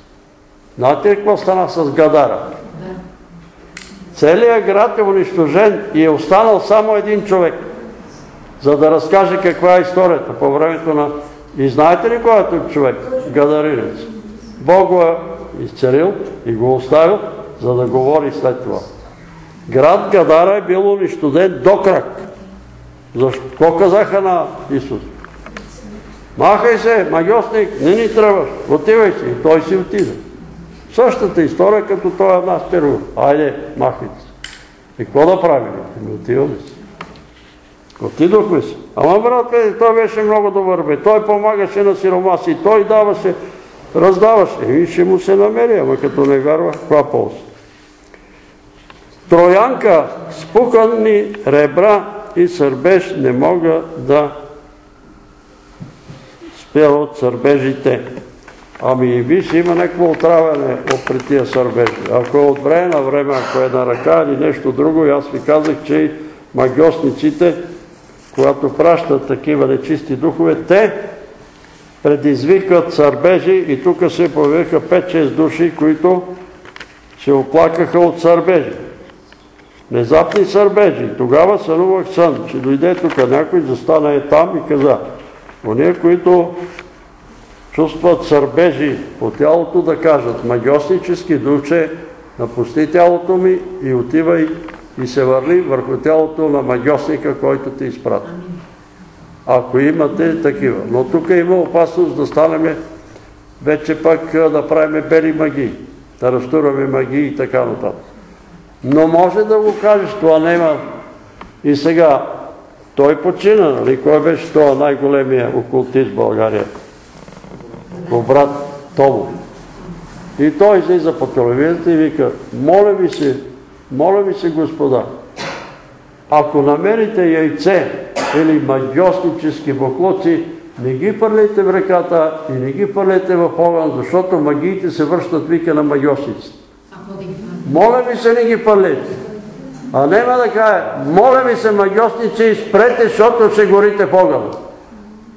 Спрете, защото ще горите в огън. Това ще стане.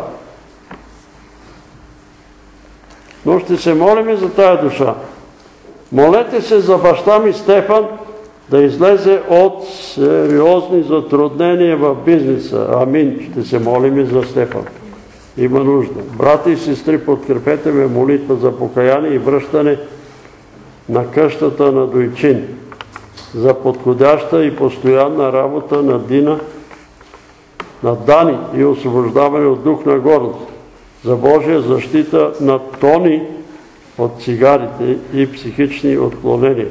За освобождението и изцелението вените на краката ми и от шиповете. Амин. Милост за тая душа. Брати и сестри, да се помолим и за сестра Анелия. Бог да я развърже и да я освободи от демоничници, които и притесняват сестра в Господа. Знаете за коя Анелия, тя вече се храни добре, но не иска да пие вода.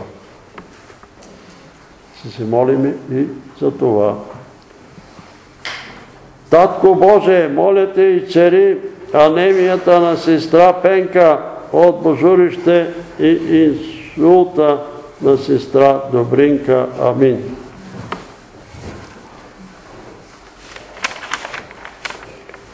Брати и сестри, да се помолиме за Николай. Има проблем с памета. Получил е сериозен мозъчен спазъм в метрото. Забравили спирките. Помолил се и Господ му е помогнал да се прибере. Нарушено е уросяването на мозъка. Ще го водя на невролог и Господ да го и цери. Амин. Добре, води го, няма проблем, но ако е духовен проблема, невролога няма да помогне. Да се помолиме на Бога за Илия Марцало. Илия Марцолов. Марцолов. Марцолов. За Илия Марцолов да му подари Бог душеспасително покаяние. И за Ивора Бог да възстанови мозъчните клетки след удара в главата на 6 години. На 6 години е детето и ударено по главата. И списъка, който е пред мене. Петър. За благословение живее в САЩ. Драган, рак на белия дроб, също е в САЩ. Брат Йордан и сестра Веска. Петър, тежка химиотерапия, последната химиотерапия едва ме е издържал. Господ да се смили над него, за Панталеите, Венушка и Христо, за Георгите, Венушка, Петя, Ралица и Павел, за Станилка и царе на очите, за Здравка, Жори и Яна и чедата им. Яна има четири деца, предстои операция. За Поли и Славчо, Славчо има проблем с сърцето. За Имела Мара и, Мала, и сестра Мара и царея на ръцете. За сестра Сарка след инсулт. За сестра Мария, дом и чедата и за Бойка, дъщери, зетови и внук. За Петър с мултипленна склероза. За Мариус и църквата в Горна Оряховица. За Николай църквата в град Ловец за брат Минко и църквата в Троян, за брат Исус Пенчев и църквата в Русе, за брат Станко и църквата в Дупница, за брат Томислав и църквата в гара Римперин, за сестра Цецка и брат Николай, ето ще се молим за Николай, за сестра Марта и брат Николай, за Цецка Васил Иво и Антонет, за Роси Ганева има много проблеми, за Роси Ангел и Йонка, за Ана Румяна Михаил и Тодор, за Ели Антонио Теодор и Лили, за Красимир Димчо Родлини и други. Амин. Така, ще се молим и за тия душички, а след молитвата ще трябва да се молим и за тия, които са насякъде и тук напред също и вие. Кажи страх. Вие прочетахте за Роси Ганева. Да, Искам да кажа две думи за нея. Тя ми се обади, значи тя а, има някакъв нещо, което е напада непрекъснато. И Тя е сама, самотна е. И непрекъснато някой говори в съзнанието, че ще умре в самота и бедност. И това нещо просто не я оставя на мира и е постоянно в много тежко състояние. има, има отговор. Няма да умра, но ще живея и ще разказвам делата Господни. Еми да се опане, да му противете му се и той ще бяга. Ще умреш или айде легаме и чакам да умре. Самота и бедност. Това е това, което е. Добре ще Ами аз искам да благодаря на Господ за това, което стана в Италия. Нашата дъщеря с живеят там и са на 100 и няколко километра от това, което се случи за земетресението, нали? Усетили са го, но слава Богу, че нали, са живи и здрави. Те живи и здрави. Другото нещо, което искам да се помолим на Любослав, за Любослав. Срещаме баба му и ме пита, вие молите ли се за Любослав? Ами аз викам, ами, много не се споменава името на Любослав. И казах и обещах и, че ще предлагам нуждата за Любослав, обаче тя пак ми каза, нали, тя много не си признава бабата, Нейната дъщеря казвала, че тук като идва а, бабата на Любослав, а, проповедниците, а, вие сте ни зомбирали. Нали така? А, вие сте зомбирани се. Ние ви зомбираме. Моята дъщеря викам, трябва да се покая. викам. Няма какво да замазваме нещата. Викам и бащата, и майката, викам, трябва да се покаят, да се оправи Любослав. И другото нещо, което искам да кажа, моя мъж преди 2-3 дни, не знам, може вие, вие да знаете, този дат какъв беше, къде беше в Курило. В стая се е видял с моя мъж някъде, не знам къде беше, не беше в Курило. Еми нищо, аз не знам, че е защото ние не бяхме миналата събота и, и да се молим за всички души, за които Бог не е употребил. Добре, кажи страх здравки. Миналия път представих нуждата. Ева, нали Ева беше? Не, аз искам да кажа. Не, не, дъщеря ти. Нека тя да каже после ти. Миналия път представих нуждата на една съседка, сестра Йорданка, която беше с много голяма немощ. Да. Вие се молихте и благодаря на Бог, тя казва, аз мятах, че ще умра. Ама не умре. Ей, Роси Ганено да вземем пример от тази. никаква сила и благодаря на Господа, нали, отидох аз една дрежка, като бях донесла, занесах, казах и какво да кажа, викам, ще облече дрехата. Отидох после на другия ден да я видам и вика, по-добре съм. Слава на Еми, Бога. слава на Бога. Има и такъв немощен дух. Е, тук виде брат Цецо, той работи, той ходи на зъбчето долу. А, и вика, много съм немощен. А иначе, вика, там работа по а, пътищата и реда бил бордюрите. Един бордюр е 80 кила ли, колко и ги върти, ги обръща ги, а сега вика не мога да хода. Какво стана с мен? С една тук, горихме немощен дух и той даде, абе свободен съм. Свободен съм. Така че има и немощен дух. Така че от тази немощ трябва да, се гони тази немощ. Но от друга страна па не се преуморявайте. Пазете се, не се пресилвайте, а от време на време си отдъхвайте. Когато работите, отдъхни си малко. Седни една минута, две минути.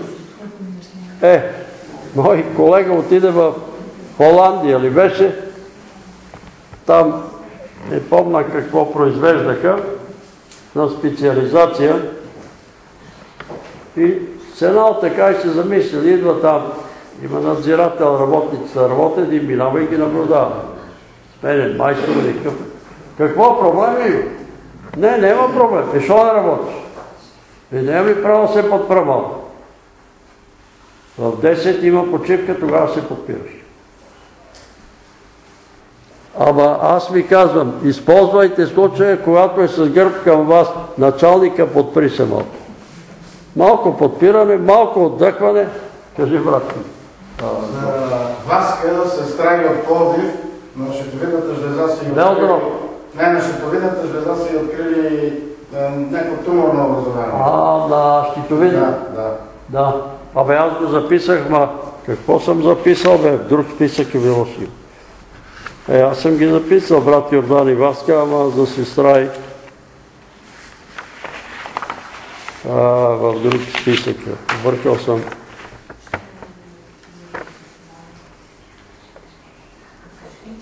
Брат Йордан и сестра Васка, да. Добре, се молим за сестра Васка, сестра и има проблем. Елия тук ли е? И тя има проблем с гълтането и може би е от щитовидната жлеза. Да се молим и за щитовидната жлеза на Елия да бъде царя. Пламене ти ли? Така ми се стори, че дигаш ръка. Друг, брат Христо. А, извинявай. Поне не те виждам, извинявай. Кажи. Искам на цялата църква да кажа. Брати и сестри, Обърни се, да. Много е трудно да говоря, защото тук ви някой знае, че не мога да говоря. Аз говорих много хубаво, обаче искам да открия един голям грях. Толкова време мълчах, защото не знам кой ме затваря в косата. Да. Грехът го направи моето дете, дъщеря ми. Тя ми направи магия за смърт. И брат Тони Георгиев, още да бяхме в църквата, изведнъж той, както се моли за мен, казва, братя си ти, този дом ме направи на магия за смърт. И посочи, и каза, изведнъж виждам го. Видях направо за дъщеря ми, че се обявява неприятел. Вярвайте аз съм много уморена сега, моята няколко вече, не знам колко време, месец може би не спа. А вечер въобще не мога да спа. След две-три дена едва ме намерят на улицата и прибрахме с полиция. Намериха полицайите вече да спала, обаче Библията в ръка. Тя иска да се върне към Бога. Иска да, да я прости. Аз се простих. Аз се простих, мили брати и сестри, въпреки мъката, която преживявам. Никога няма да ни проща, ще прощавам на всичките. На всички прощавам. Хубаво си. Една майка, не че за майка, но аз прощавам поначало. Моля ли цялата църква сега, тя е в, в то сега, и буйства в момента, иска да я взема. Обаче викам, виж какво викам. Така е било с една вчера видение, че се намирам сама вкъщи. Избягах аз като Йона. Няма викам да стоя, викам сама. Обаче Бог като каже нещо, го прави. Много творение имам от Бога, от дете още. Много и песни, и откровение, много благодаря на Бога. Обаче не знам какво ми затвори устата, дали Бог или някой друг. И тя самата вика, майко, не знам кой ти даде този мир, като знаеш какво ти направих аз. Цялата бях в рани, брат и сестри. Брат не знае този случай, той ме видя полумряла в нас. Обаче Бог ме изцели раните, обаче аз искам да се моля сега специално за Евелина. Тя е в лутицата сега в момента. Иска да избяга от там. А пък знам, че тя иска да хване Библията. Обаче он не дава, не ще, защото има причини, нали? Но въпреки всичко, аз само в милостта на моя Бог вярвам. Вярвам в Господа, в Неговите рани. Молете за брати си, тя ако свободи, проси ми брат. Ако спомарим от съде, вярвам, че тя ще бъде освободена. Бог ще освободи и аз ще хваля името на Господа, знам. Няма да млъкна. Няма да млъкна, защото Бог е жив. Аз умрях и той ме скъси два месеца бях в кома и той ме вдигна, за да славя името му. А тя и сега иска да се върне. А другия пък и представно изгори какви не прости тук и каза гори. Малко вика, вземи ма, вика, ми си чакай. И защита освободи. Аз знам, че той е милосив. Той е милосив и толкова търпелив. той няма да те погуби, майко. Въпреки което ми направи и въпреки направи, каквото направи, престъпление много, обаче тя иска да слухай. Иска да слухай. Затова, моля ви, помогнете ми в молитва, нямам силика. Не мога да спам. Не знам колко време вече не съм спала. Аз се стигнах по улиците, търсех, нямаше. Искат хората пари и какво ли не. Обаче сега в момента, моля ви се, тя е в там, аз утре ще бъда насилен при нея, нося дрехата от тук, аз не знам, че Исус знае какво ще прави.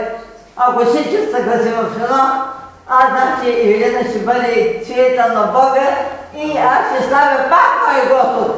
Алилуя! Благословен да бъде, нашия Бог е жив. Нашия Бог е жив и се казва Исус Христос. Да, той там прегледна, като бях, когато бях в кома и в плаках и каза, Господи, много голяма, Твоята любов не може да понеса. И тогава Бог повърна. И вика, къде отидеш? Викам, така е твоите братя за голямата любов, успя да се плаче. Да, той ви каза, нали каза, да, ли ти каза, ли така направиш аз. Ама я искам да кажа. И тогава му освободиха и аз тръгнах вече, излязах вече от кома. Обаче, он е продължава толкова години да не в ръцете и аз тълчах, не каза това нещо. Не го каза, може би това не е грешката, може би по-рано трябва да каже, или пък до своє време Бог да освобождава. Голяма радост ме чака, ако тя да освободи не само мен, но всички други. Халилуя, благодаря на Господа. Сега не разбрах нищо за магиотничество. Какво беше? Ами тя, ами тя ме направила някаква с моята приятелка, нещо се е дозал против мене и отиша направо в Старата гора и ми направи магия за смърт. Да. Ти не умираш. Е, аз, тя е те се очаква до мен, ще си дава. Аз разбрах, ти искаш да изповядаш нещо пред църквата. Искам да стоя на нея, да, да се моля за нея. А тя иска да се моли, сега да помоли църквата, тя да се моли, защото с полицайите я намериха с Библията, иска да се бъде, но не ни дава постоянно горе тук, какво не не, и е дърпа. Добре, а дрехата е, ще държиш дрехата и си помогна. Да. Сега, казвай ти за човек говори. Казва ли говориш? Това е от Елифели, Гратели пари, как се казва това? Издрехата тук. И да той казва, взема ръката, тук да се моля. Страшно като е. Представи си, че имате. Той ми каза, няма да се моля. Молили се за него и се е дал откровение да отиде на Бога на ливада да се помолят за него, да помагат и ще бъде сега. Вярвате ли в това? И аз го вярвам. Той ме дошъл, ще се моля. Как се казва Павел? Павел! Е, чудесно име, да си като апостол Павел, може да се направи. Господи, молим ти за това момче Павел. Ето той е от църквата в Велик Велик, там са се молили, там се е дало откровение. Може би има хора, които говорят против нас, за да може да ни защитиш. Господи, го пращаш този нас мил брат и да се запознаем и заедно да ти служим и ние да се молим за братите Велик Велик, те да се молят за нас. Това е Твоята воля. Затова ние се молим каквото Павел си е съгрешил. От малко момченце до днес. Молим те, Отче Святи, да го поръсиш с кръвта на Твоя единроден син, да го чистиш от всяка неправда, грях, беззаконие, който той е извършил от дете до днес. Също те молим, ако има наследствена обремененост от ловци и правци, да бъде покрито всичко с Твоята кръв Исусе Христе, Сини Божи, и Той да бъде освободен от всякаква наследствена обремененост. Ако срещу нашия брат Павел са изговорени клетви, или заклинания, или други сатанински, магиоснически дела, разруши ги, Господи Исусе, понеже е писано за теб, че ти ще разрушиш делата на дявола. И сега ние те молиме, Исусе Христе, Сине Божи, разруши делата на дявола в живота на брат Павел. Разруши делата на дявола в неговото тяло и цели тялото ми, премахни полките в кръста. Молиме ти сега, Душе Святи, слез върху него, изпълни го със силата си от темето на главата му до пръстите на краката му, изпълни го с присъствието и цели го от всяка болест и от всяка немощ. Да се разпръснат всички болести и нечестиви духове в живота на брат Павел. Болести душа, който спощаваш и предизвикаш болка в кръста му. В името на Отца Семи Светия Дух и заповядам да напуснеш духа му, да напуснеш душата му, да напуснеш тялото му и да отиваш там, където Бог ти определил място. Не се връща и не увреждай друга душа. В името на Исус бъди освободен и изцелен. Господи, докосни се до гръбнака му, Душе Святий, и си животворящ Дух. И те молиме, ако има притиснат нерв, Господи, освободи и стойте по гръбнака прещаните, немите да бъдат освободени. Ако има оплетка на нерв разкъсана, молиме те, регенерирай и възстановия, защото си животворящ Дух, о животвори, гръбнака му да няма никакви болки, да няма никакви притеснения. Амин. Първо един малък самолет излиза от пистката и после един човек с средно голяма брада, е, прошарен, е, плешив човек. Мъж. Може би. Такъв обиден. Шара, шара, сисъл, бяла, черно, бяла. Леко пуши. Една стара така, Брат, като твоята печка на долу камар, така стара печка, кухненска, да, с кюлец такава, все едно кюлеца не е вързано. а, живеете ли си, брат? Вярвате ли? То не е. Не. А вярвате ли се нещо да ви кажа? Е, преди сега не. Сега не. А обичаш ли? Обичам. Често. Да, обаче той той се. отхвърли, когато повярват, му отхвърли, каза, че е, тогава, как да ти кажа, отхвърли ме тогава, каза, че Те искат че да брат. не ме иска за брат, че ще ме едва ли не там ще ми променят мозъка, ще ме отравят и така нататък, такива неща. И каза, нали, като го гледа, ти мога всичко да кажеш, но Бог има. И аз вярвам в него и съм отишъл в тази църква. Той каза, не вярвам, защото Господ допусна на баща ни да почине и така нататък. Работи. Едно не може баща ми да е вечно, нали? Не, той почина отдавна, когато деца още. А, мисля деца. Да се също преходят много хора. Моя братовчет какъв Учи се, учи се. Защото ако е вземал Господ, ако беше останал, ще ще стане разгоди.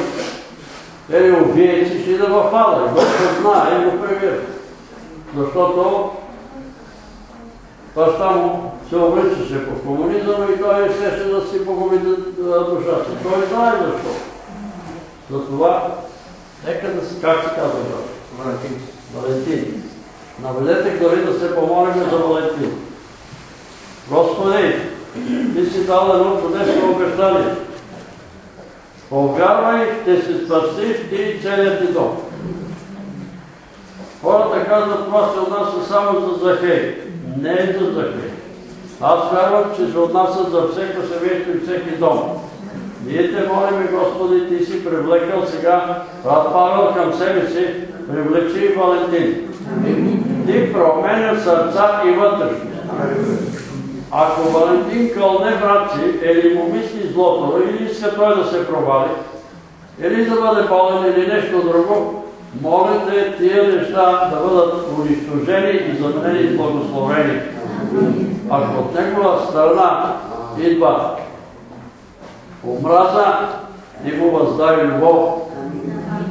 Господи, благослови Валентин и докарай го да покая. Не допускай да го грабне лукавия. Господи, не знаем защо си допуснал това заболяване на Павел. Може би да се замисли и Валентин, може би да смекчиш и да стоплиш студеното му сърце и той да отвори сърцето си и братската любов да заработи сърцето му и те да живеят като истински и духовни братя, и биологически братя. Благослови, молиме те, брат Павел, благослови брат му Валентин. Имаше много нераждаеми пирони в две редици, заковани на една, първо на една дъщица, преминават през нея и после има още една бяла дъщица. Много пирони, нераждаеми. Господи, ето срещу нашия брат Павел се изговорили клетки. Тия пирони са клетки и ние те молим сега да ги разреш- разрушиш. Понеже ти умря на Голгота на кръста и взема всичките клетви и всичките проклети на брат Павел върху себе си на кръста. И затова сега разруши клетвите. Разруши унищожи ги, Господи. Ако човеците кълнат, ти благослави. Слава да благодарим. Халелуя! Слава да благодарим. Брат Павле, вярваш ли, че Исус е умрял за твоите грехове? И аз те помазвам в името на Отца Сина и Светия Дух за прошка на греховете ти, за изцеление на телото ти и за вечен живот. Вярваш ли, че Исус е възкръснал? И аз те помазвам в името на Отца Сина и Светия Дух и разрушавам в името на моя небесен Отец, в името на нашия Господ и Спасител Исус Христос. И в името на Святия Божий Дух всички клетни заклинания и всички магиосници и всякакви зли намерения срещу теб и твоя живот. Божият Дух да бъде върху теб, да те бронира, да те пази, да ти даде съвършено здраве и съвършен мир. Вярваш че Исус е възкръснал? И аз те помазвам в името на Отца Сина и Светия Дух за прощане на всичките ти грехове, неправди и беззаконие, за изцеление на съвършено изцеление на телото и за вечен живот и ти си с мир. Амин. Католически свещено служител. Та шапчицата така да се обзегле. Мисля да не го казвам, в първата молитва видях така като малка лопатка черна така за печка, пълна с жар. И мисля да не го казвам, ти като каза Боже, стопи дома ти им дай топлина, като че някой извадил топлината от печката, да си каже. Еми, да, имало е студенина, ама това пак е твърдо уверен, че ти си Божия човек. Разбираш, защото Исус казва, първи врагове на човека ще бъдат домашни. Брат ти ще бъде враг, сестра ти ще бъде враг, баща ти ще каже, ти се заблудил. Ами си работа, бе, ходи на църква, бе, дей да говори за Бога, бе, знаеш какви са времената сега. И така нататък. А това използва лукавия, за да ни хвърля. Това да говориш, както ми каза. Има Бог, знам, че има Бог. Уверен. Дай. И ще видиш, че той ще дойде за покаяние. Как и беше? Евелина. И Евелина. Сега къде? е? В Корил? Сега е в-. Скопие. Господи, тази дреха символизира тялото на Ивелина. Ти знаеш цялата история. Ти знаеш защо е там. Ние те молим, Господи, да се смириш над Евелина и да й прости всички грехове, неправди, беззаконие, всякакво страдание в духа, душата и тялото.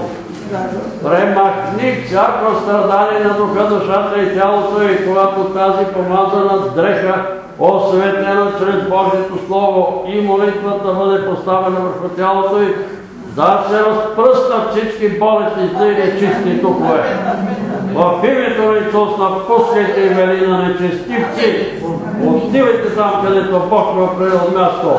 Разрушаваме в името на Отца Сили и Святия Дух всяка клетва, заклинание, магиостничество и всякакво зложелателство върху Евелина. Господи, освободи я от дух на отхвърляне. Помилвай я, благослови и цари я, слава да бъде името ти. Ето помазвам тази дрежка, която символизира тялото на навика, Бог В името на Отца и Сина и Светия Дух. Амин. Полагам ръце върху нея за пълно божествено изцеление Господи, нека дойдат Твоите думи върху тази дреха и оттам върху Иверина. А повярвалите ще полагат ръце на болни и те ще бъдат здрави. Слава да бъде името Ти. Амин. Йоанна 3.16. Може ли Брат Петре, Да? виждам храма Александър, свети Александър Невски. Храм и чувам храма Александър Невски. Свети Александър Невски. Еми, водата тече пред Божия храм. Трябва да го водиш по-често на църква, като излезеш. Специално си не пеем с Ева, като здраве и тая песен, да знаеш. Добре. И само Вярно. Значи миналата или последния път, когато идваха и тук се молихте за тях, Ева се казваше. И тя, като си тръгнаха по-рано, защото не бяха много форма, не знам какво беше. Значи от по-миналата година беше.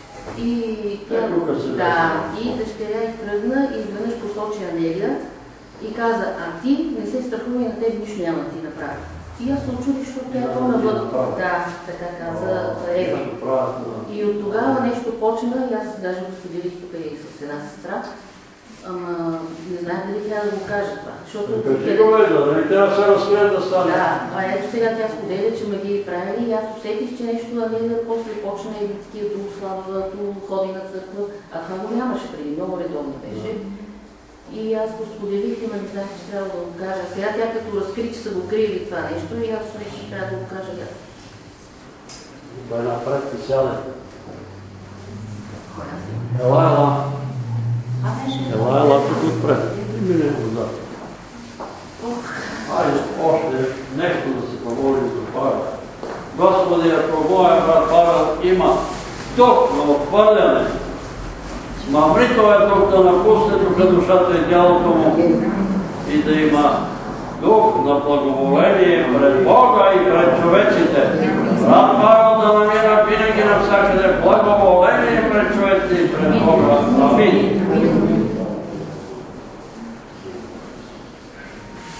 Ако искаш да ги помазваш ти, брат, а? Евелина да, Евелина. Ти си Евелина, не дъщеря. Господи, моля Не, те Евелина. за сестра, Снежана и за нейния дом. Съжалява и се. Ти знаеш какво става с дъщеря и Господ. Нещо става в този дом. Нещо става с това момиче. Ето сега е започнал да яде, пак не иска да пие вода. И Велина ми е казала, че магиосниците нищо няма да могат да ги направят. И ако срещу Анелия са изговорени магиоснически клетки, заклинания, ние те молим да ги разрушиш и да ги върнеш на главите на магиосници, а не ги освободи. Магиоснически душе, в името на Отца, Сина и Светия Дух те връзваме и ти заповядваме напусни ума, сърцето, духа, душата и тялото на Анели. В името на нашия небесен Отец, в името на нашия Господ и Спасител, в името на Святия Дух ни заповядваме напусти тялото на Анелия и отивай там, където Бог те определил място. Дух на отпадане, напусти тялото. Дух на немощ, напусти тялото. Лъжлив дух, който я караш да не се храни и да не пие вода, напусти тялото. Господи, молим те, ето ти казаш, че отидеш и ще изпрати Святия Дух, който от Отца изхожда. Прати Святия Дух Анелия, ти ръководи, бронирай я срещу силите на магиосниците да бъдат съсипани и разрушени. В името. Амин. Молим ти и за сестрата Божия мир и радост дай душата й. Болен ли си бил или болен си гледал, казва народа. Помазвам те, сестро, в името Отца, Сина и Светия Дух. И това помазание на Божия Дух да дойде върху дъщерята й и върху другата ти дъщеря и да бъде с целият ти дом. Силата и всемогъществото на живия Бог да бъдат върху вас. Амин. Кой ти даде и ти е дал оная картина? Всички бесове заповядат. Имах тържества в детска градина, майка на дете. Някаква майка. Майка на дете. Така, защото ме харесват, че там. Дали знаете историята? Отиваме в отек и на стената една картина с три дела. И аз се глеждам там, а все по-главно ми там. И тя вижда, че все гледам тази картина, сваля я, обръщаме аз и чета. Не мога точно, нали? Всички бесове елата. Мога да бъда преди. Абе, какви са тия човечи, бе? Какви подаръци давате на на Христа? Всички бесове елата. И това стои на стената. Да, да, да. не сте виновни, защо не го прочетохте? Ма ние сме обръщали отзад. Те не са и обърнали, направо слагат на стената. Да. Е, какъв е този човек? Да желае бесовете да дойдат върху едно преди. Какъв е този човек? Човек ли е това? Звяр. Господа ги смъмра и затова, за това пише там Откровение. Ще горят в огненото езеро. Те си въобразяват, че служат на Бога магиосници. Въобразяват се. Ма къде си са буди? Добре, но ще се молете се за Алнения. Вие знаете, ето тук нали, кожа и кости беше момиче. Отказва да яде, отказва да пие вода. Сега е почнал да яде. Ама да почне да пие вода, то не може без вода. Тя имаше някакви цървежи, но така от време на стоп. Да, кажи бе. Брат Петър, видях, се молят за... Ела, ела, напред, че нищо не чува. Видях, като се молят за Нярия наречено А, момичето, едно като хлърка такова, слабо тяло с въже около въже в кръвното, глава, обаче почна да се развива. да се развива мъже. Слава на. Но това е някакво връзване. Това е някакво връзване. Вентилатор в тъмна решетка с тъмна перка бавно се движи. Ще се задвижи вентилатор, ще се продухат нещата. А не, ще се. Да. Много. Значи болка в главата и влучение в главата. Обучение. Влучение в А главата. Добре. Обаче сърцебиене, сърце, сърдечния ритъм вчера А нещо взимаш ли на сърцето? А, Валидол. Валидол и тези, които са таблетки. има едно... Да, как се казва? Блок И това е природно. След не прекалявайте, нали, с тия филки, ама ето глотки валериани добре, такива проблеми с сърцето, спокояват се сърцето. Но преди всичко си ми по 10 капки молитви на ден. Да, амин. 10 пъти, като се молиш ден, къде ходиш, се моли, Господи, сърцето ми, Господи, Да. очите ми, Господи, нещата се оправят. Нещата се оправят. Обаче, ти ми каза, че имаш болен зъб. Да, това... А това може да е. Той, той не е болен, ни сплетени са. бе. Корените са сплетени. А тук има една завойка, ако се питам. Може ли корените на единия зъб да зараснат за другия корен? Да са сплетени. Така се казва. Едната ми Може. каза, че, че корена е така надолу и после И нагоре. после надолу и после отишъл и бута другия. А пък другата ще са сплетени. Възможно е сърце нещо признаша. Виж сега, е тук ни излезна една бучка. Е толкова е. И бехме на Емил Марко. И дойде Теодора на Павел, на нашите събрания. И аз не се молили за мен, нищо не сме се. Обаче тя стана и каза, брат Петър има развален зъб да си оправи зъба. Аз не имам развален. Отидах при Цецка, тя беше сестра на заболека. Вика, може ли тук да ви... Не, нека да ходим да ми направят сенка. Мадреца. Тук това горния мадрец има проблем. Той го извади мадреца, прегледа, о, това образование изсъхна и падна. От зъба. От зъба. Ето аз, нали, Теодора го каза, аз съм впечатлен от това, че тя каза. Има Петър Велев, има болен зъб. А той не ме болеше. Не ме боле, да си работи, да търси работа. Така и ти оправи тия зъби. Може там да е проблем. А не се чуди, направо няма да болека. Те ми казват е, или, да го лекувам, или да го изваждам. Еми, кажи какво направи с зъбите, да ги лекува или да ги вади. Тя трябва да се види, да се направи снимка Направих панорамна снимка, направих. Да. И те се чудят какво да правят. Направих, да, казах, че едната моя Молитва и пост, аз имах и А, това да молиш, бе, той го Молитвата и поста и ще изчезна всички е абсолютно здрав, обаче зъба, корена е изкривена, а другата казва, че двата корена са сплетени на тези зъби. Се казва, че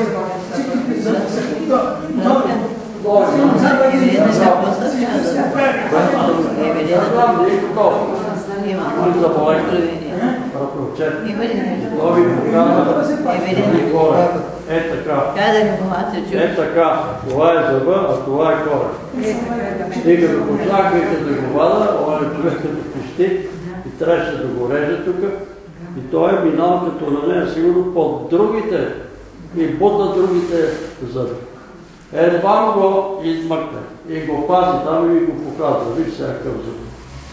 Има разни такива, как се казва, аломали.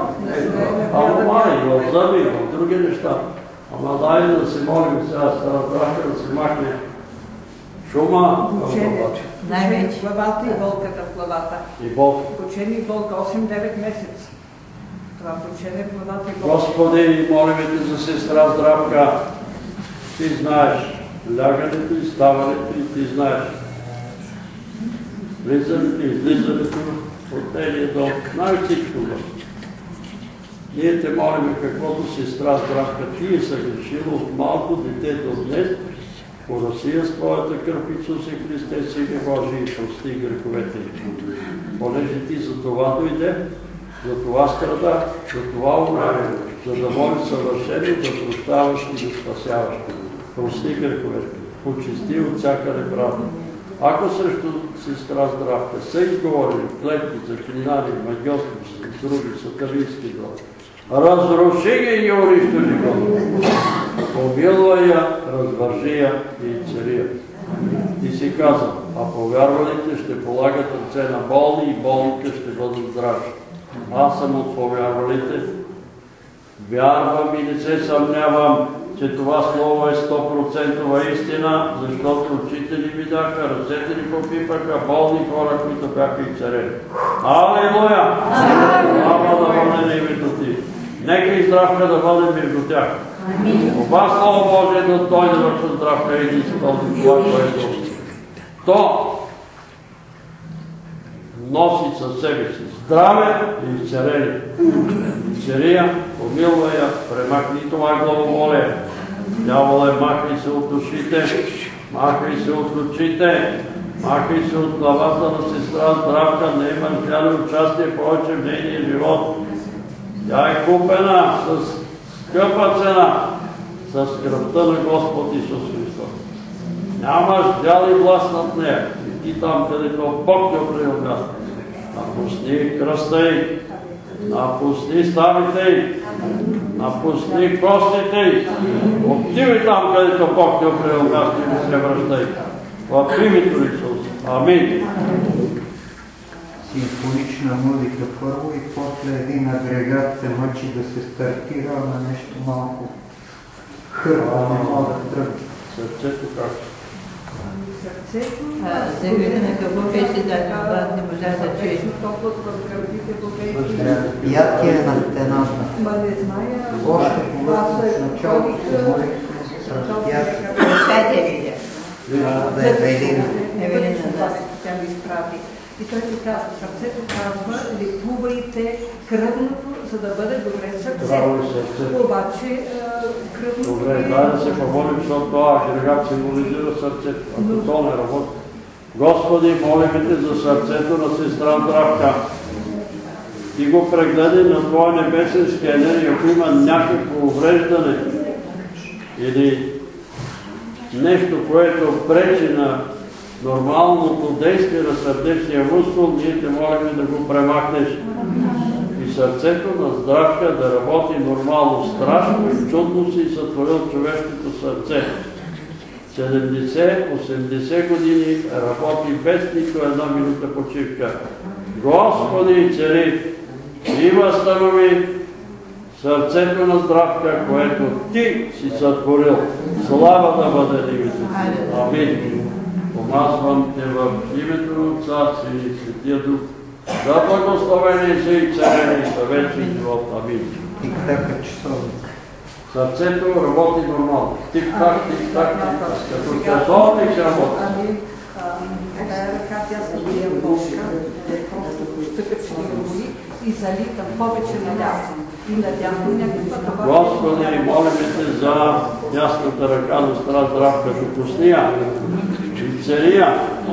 Това залитане да изчезне в името на Исус. Амин. От GSM. Преди до GSM. Ема не може да разберете от GSM залит. Аз много. Е, колко малко? 50 минути. Вчера ми се обади. Елия, 50 минути е говорила и като оставила и тръгнала е залетяла. Не може 50 минути, бе. Хората... с норчето, да. С норчето преди Ама и много с часове говори и тя, оле, не за да ще залитате от телефона, разберете. Слушалка. Кой е? Слушалка. Си вземе слушалка. Слушалка.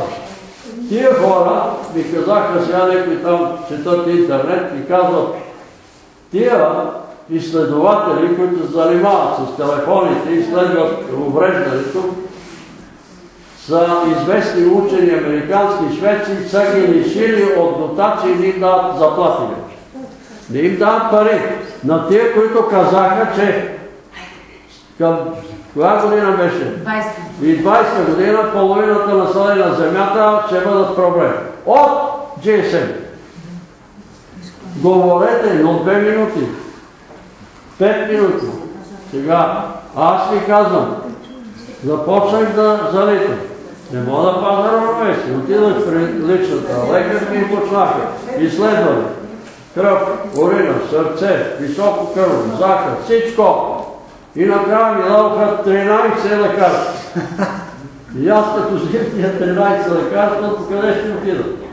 И се моля, Господи, какво става? Ще умирам ли? Какво става мен? И се виждам телефона на маса. И една ръка е толкова голяма, гръбна телефона и го изхвърли. Изкочих телефона и всичко се нормализира. Обаче пак си има хора, които не ме остават. Бър, бър, бър, бър. Почва да ме получават, да са живи и здрави. Чакай да ти кажа един съд, чакай сега да ти кажа аз какво мисля по този въпрос. Ама какво мислиш, бе, който мислене не е важно, бе. Важно е какво Бог мисли по този въпрос. Сестро. Ама не, не, аз да ти кажа. Какво ще ти кажа? И много от сестрите, нещо, което и нощето, нещо, което и сестра Здравка, с което си говорихме, се научиха да говорят две Христос те поизтърпян. Но още има сестри, които ме държат по полица. Чакай да ти кажа. Аз разбирам, ако те ми питат за духовни въпроси, за Словото Божие, за неща, които се отнасят в вярата, ще говоря и два часа и знам, че Бог ще ми защити. Обаче за каза ни рече и той е казал, он е рекал, нема да ме защити. Ние изкушаваме Бога с тия телефон. Той ми открива и сега, понеже мина известно време, отначало отрезах телефоните, изключих ги и възстанових се. Мина, мина известно време, няколко месеци, айде, пак почнаха по телефоните и аз се олеко и забравих. И втори път Самом, че държа телефона и пак същата ръка от тук, па на телефона и ги свърна. Ей, разберете, Господ иска да сме здрави, ама ние не искаме. Ние не искаме. Така че норчето се промени, ти се промени, сестра ми и тя се промени, но не съвсем. Още с нея си говорим по половин час. Марито се промени, Бойка се промени, обаждат се, това, това, това, това, една минута. Панталей се промени, Теминушка още не се е промени. Но Панталей, Повече да не ти загрявам ушите. Това, това, това. Моли се за Петър, моли се за това. Готово. И се молим. И може. А една сестра Марина ми, да живеят телефоните. Брат Петър на телефона. Да, чакай сега ти обясня. И като почва, тая внучка, оная внучка, той е взет, той не взет и, и единия част отиде. Брат ли специално за това изкривяване на гръбнака? Значи това мъче Добре. Добре, се молиме бе, за това и за мама. Не сме отдай да изходим. Не роптай. Господи, в името на Исус заповядвам. Тая плешка и този гръбнак да се наместят. Господи, по Русия с Твоята кръв очисти от всяка неправда, и ако има наследствено обремененост от отци и правоци, от баби и прабаби, пораси всичко с Твоята кръв и унищожи всяка наследствена обремененост. Дявол е бягай от гръбнака на сестра Здравка в името на Отца Сина и Светия Дух. Вън! Отиви там, където Бог е приел място. Напусти тялото им. Ража лукави напускай. Освободи гръбнака. Господ, изцели краката. Изцели ставите и костите. И Господи, слава Тебе. Амин. Може да има Да се молиш ти, че така се може да се чувстваш като пренебрегнат. Не, айде за църкви един се моли. И. И за Николай, и за Николай, кой е станал, не, нещо удари при за не е удар, ама както е бил в метрото, е пропуснал спирката и нещо не мога да помня. Забравя памет, говор. Забравил. Николай, нали го знаеш? Не. И аз не мога. че Владим благодарим ви, че можем за всяка наша нужда да се обръщам към голяма сестра. Аллилуйя. Сигурно. Тя е която гнува за своя но тя е да ни храната. Затова ти се молим, че благ. Ние изпълняваме Твоята дух и казваш, че своята апостол да се молим един за друг. И се присъединяваме към молитвата на тази твоя дъщеря и наша сестра и да се намесиш в нея живот, да възстановиш онова, което е венило в нейния дом и която да помогна, благословена, да може да разнася Твоята благо вест. Моля да за ние за сина човек, ти Николай, и ти благодарим, че ти въздейства на нас и той се върна в Твоя дом, докато Сатана може да търсва това търс, да може да на нас погледат, да види, че той извърши нещо, което Сатана не одобрява и иска да покаже, че къде е по-добре. И затова ти се молим, че Боги, ти да го защитиш, да изграниш както всичко това, което е вредено в него, нейния ум, неговото съзнание да бъде напълно благословено и да водиш неговите мисли и да го защитаваш от тези повещения на страна. Който нападаш в нашия да заповядваме името на Господ Исус Христос. Отстрани се от него. Души неговето изкърмото, напуска дългът му и отиваме там, като Бог те. И се връщай. Не уврежда никаква дръбушка. Господи Исусе, благослови го според Твоята благота и изпрати си на като да бъде над него да бъде съхранено и никаква нечиста сила да не се козва да го благослови този дом от човека и го стане пред Твоя благодат като Христос. И се моли за човек, Твоята благодат, Твоята истина, да бъде и Твоята закрила да бъде върху този дом. Да прославиш в него. Благодаря ти за всичко. Слава! песента Имам чудна благодат, спасителна на мен.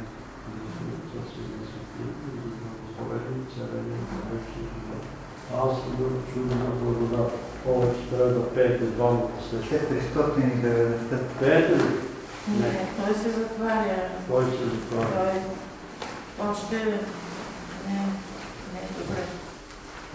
Трябва да се молите заедно. Трябва. Много домове християнски срамуват се мъжа от жената се молят заедно. Кой има да се срамувате, бе? Как ще застанете Бог? Е, Има такива, където няма да стане, нали? Ама, знам. Ама, Може, може. трябва да се почне веднага след сватбата, нали така?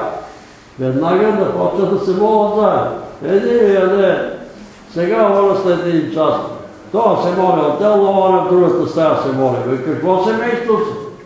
Молете се заедно. Веднага след сватбата започва подбитие първа глава. Веднага след сватбата вечерта подбитие първа глава започва да четеш. Веднага, същата вечер. Ела тук тази сестра, сядайте, чакайте. Брат Димитър, ела тук за тази сестра да се помоли.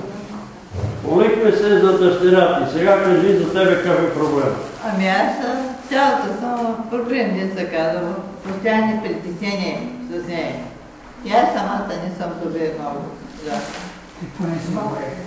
Не? Немощна ли си? Какво те боли? Ами тук е от това нещо, което не мога да говоря. Може би гуши или какво ще има след да говоря. Да, брата видя разпятие а, на когато се молиха да дъщеря ми, значи отново страдание, така, аз знам, че има страдание, но чакам да Бог да покаже мил да освободи от, присъствието на нечестивие. Аз като майка се моля повече за нея, отколкото за мен да А, ама и за тебе трябва да се. Да. Молете се. Аз съм бил из, изобличаван. За тройте се молиш, а се оставаш теб дявола да те удари. Да, Това да има направо. в името на Исус. Винаги говоря. Когато да се моли за другите, но напред за себе си, тогава за... Тогава за И тогава Господ, Действа. Святия Дух започва чрез сърда действа. Да, да. Ти първо да се моли за себе си, как ще пак да действа той за другите, като ти вече не си изпълнил духът, за да може да действа. Да. Така че молете се за другите, но напред за себе си. За да може да бъде очистен. Амин. И това е което Бог Да, да. Да, Така че ние ще се молим за другите, защото ние, ние сме тъкнаме, че сме по-добре. Ще се молим за другите, защото те имат нужда. Но ние най-напред трябва да бъдем осветени от Духа, за да може Духът да действа чрез нас. Амин.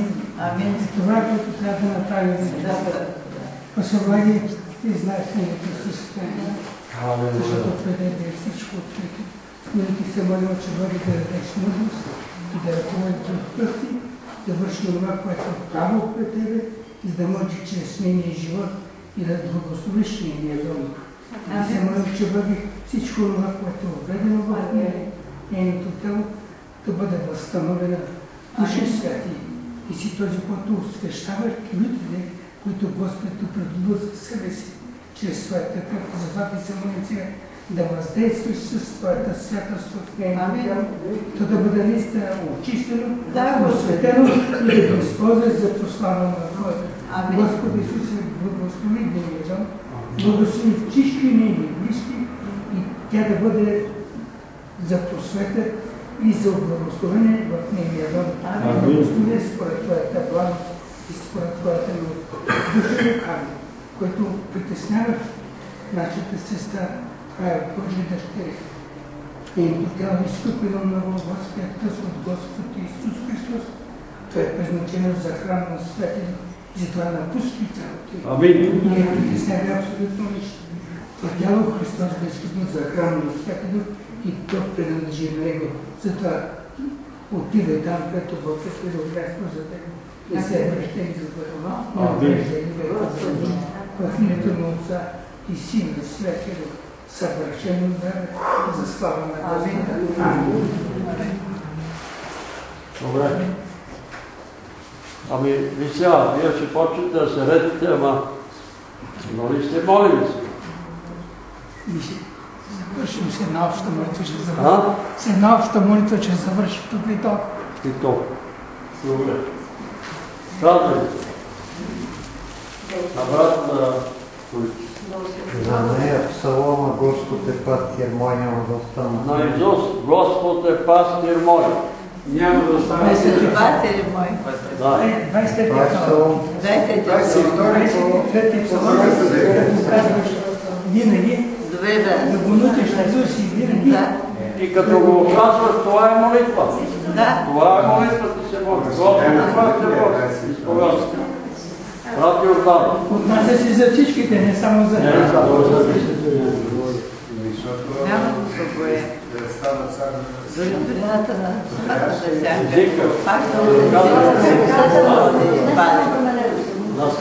първен.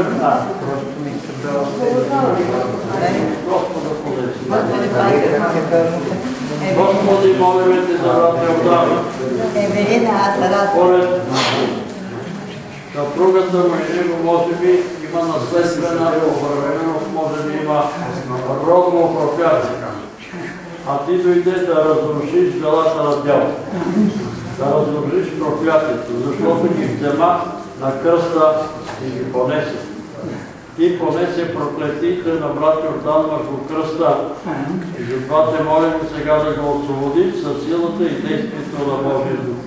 Дяволе, в името на Отца, Сина и Светия Дух ти западам напусни главата, мозъка, устата, краката, ръцете на нашия брат Йордан и отивай там, където Бог те определил място. Вън!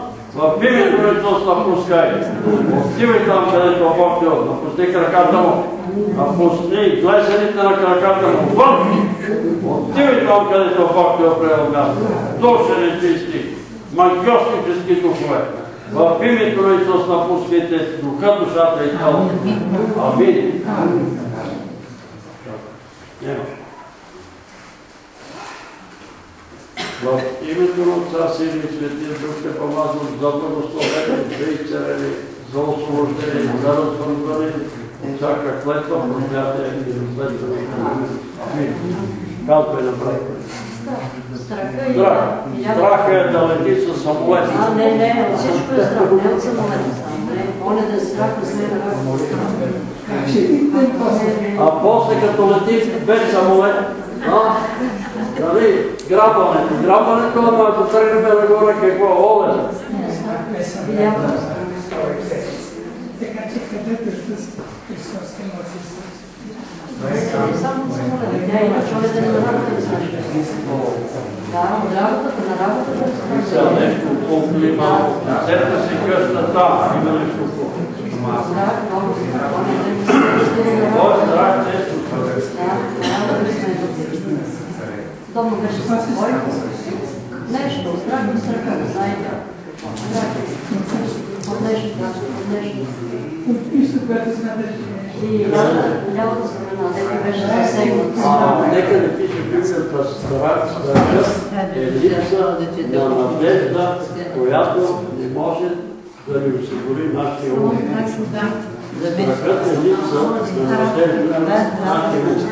Абе сега, са и вярват, че Исус е Твой спасител. Молитвата да остави да падне самолета или нещо да се случи или да паднеш по улицата. И той те пази, бе, Исус те пази. Дърваш неговото и Господи, пази го и вървиш.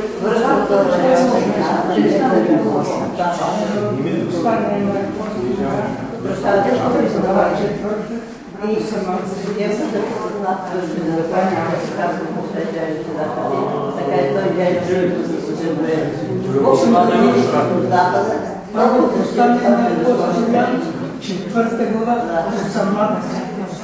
Любовта няма. И спойка. Ако страхът има в себе си, което се страхува, не остава.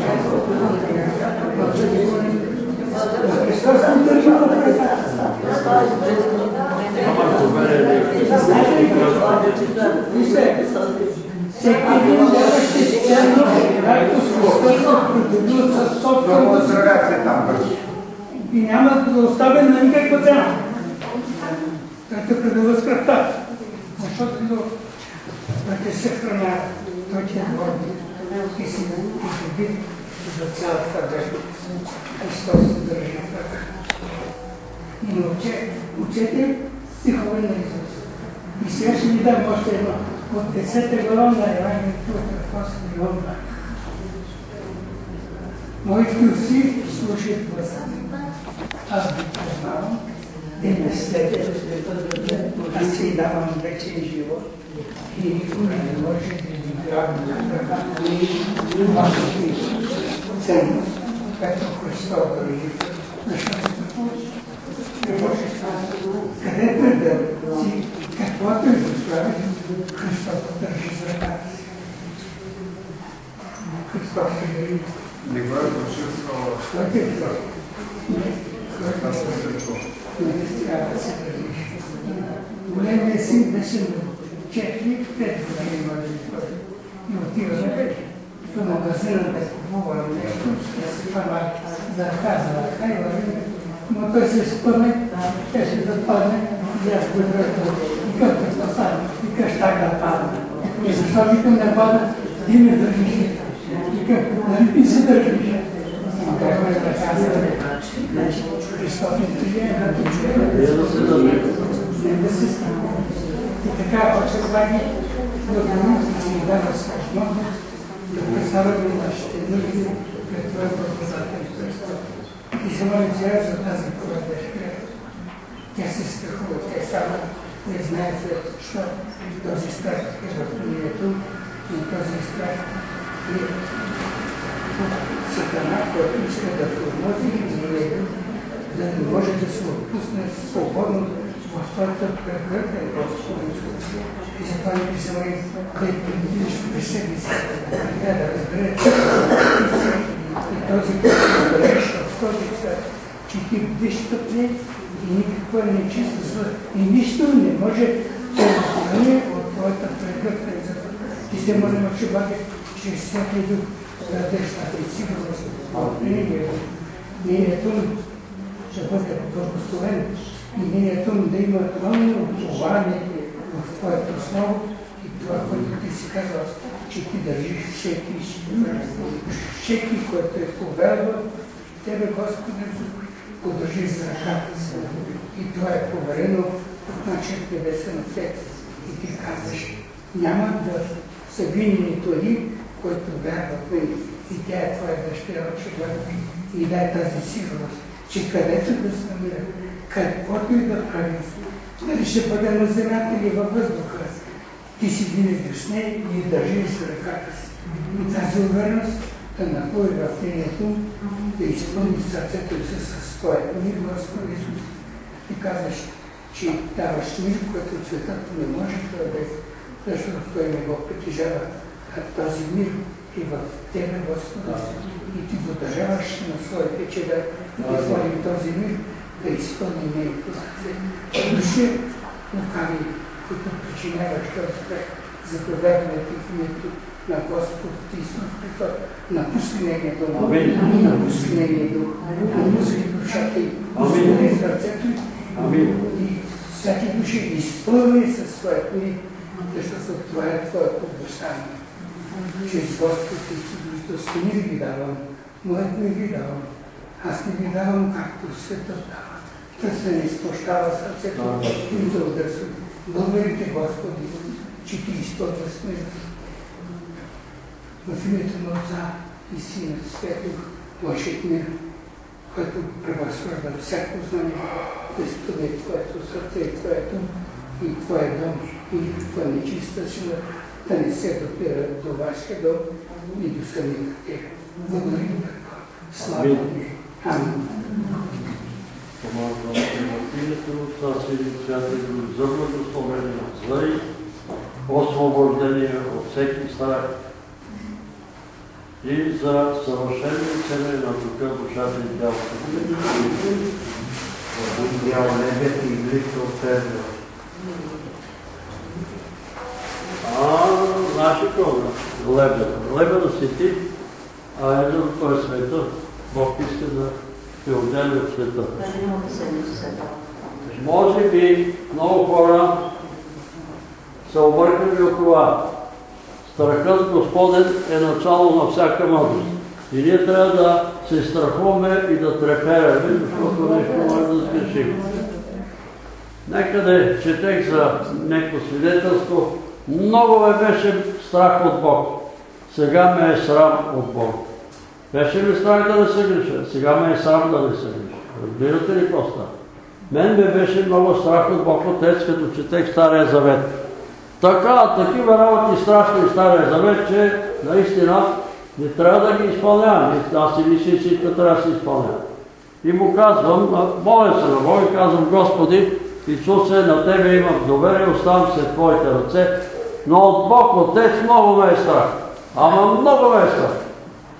И сънувам съм, че съм на петте кюшета. И тръгвам по прага.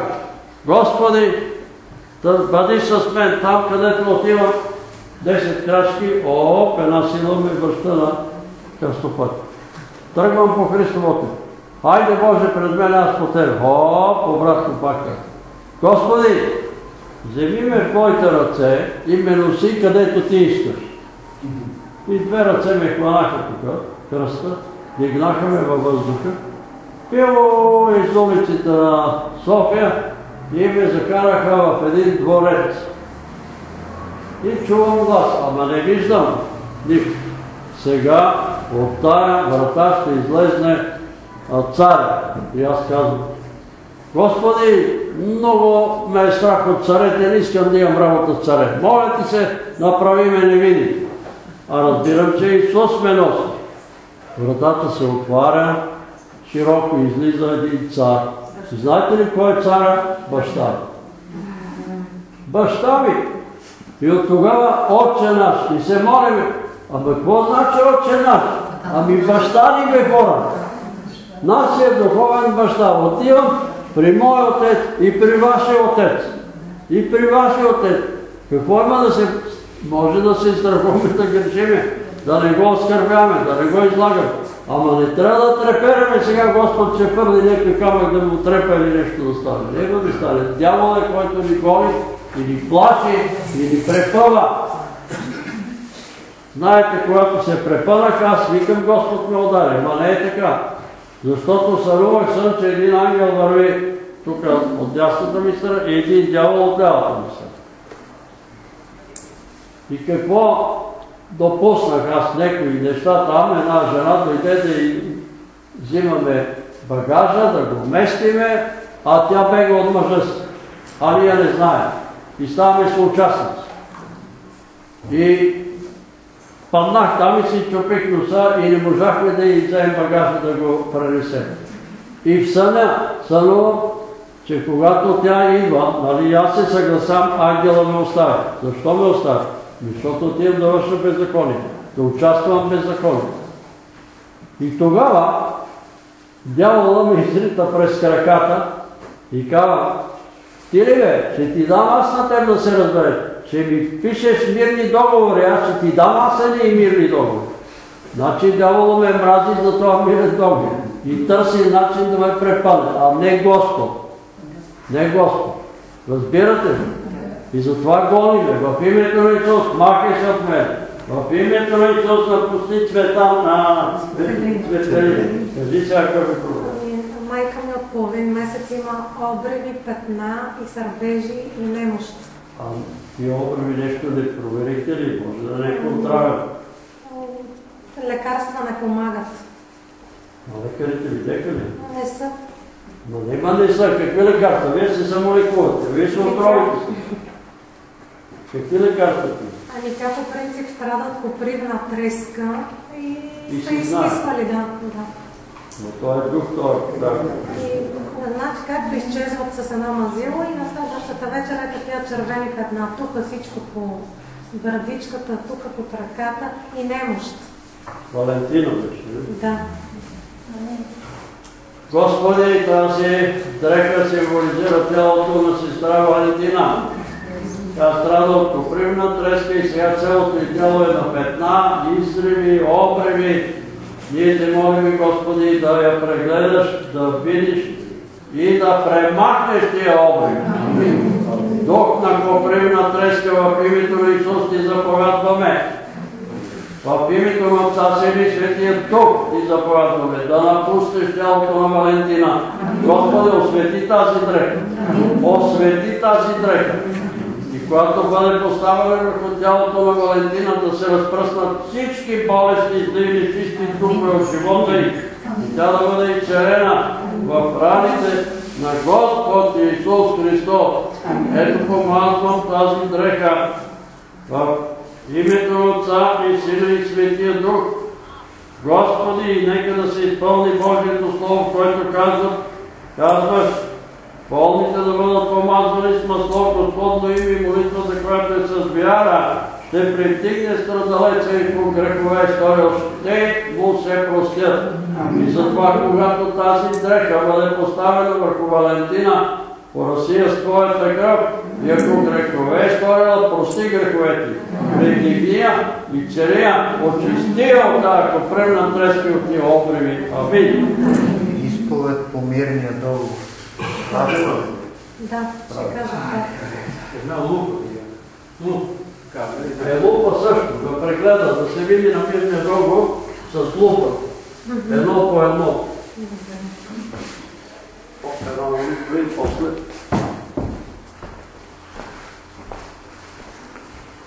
Да се изправиме и да се молиме.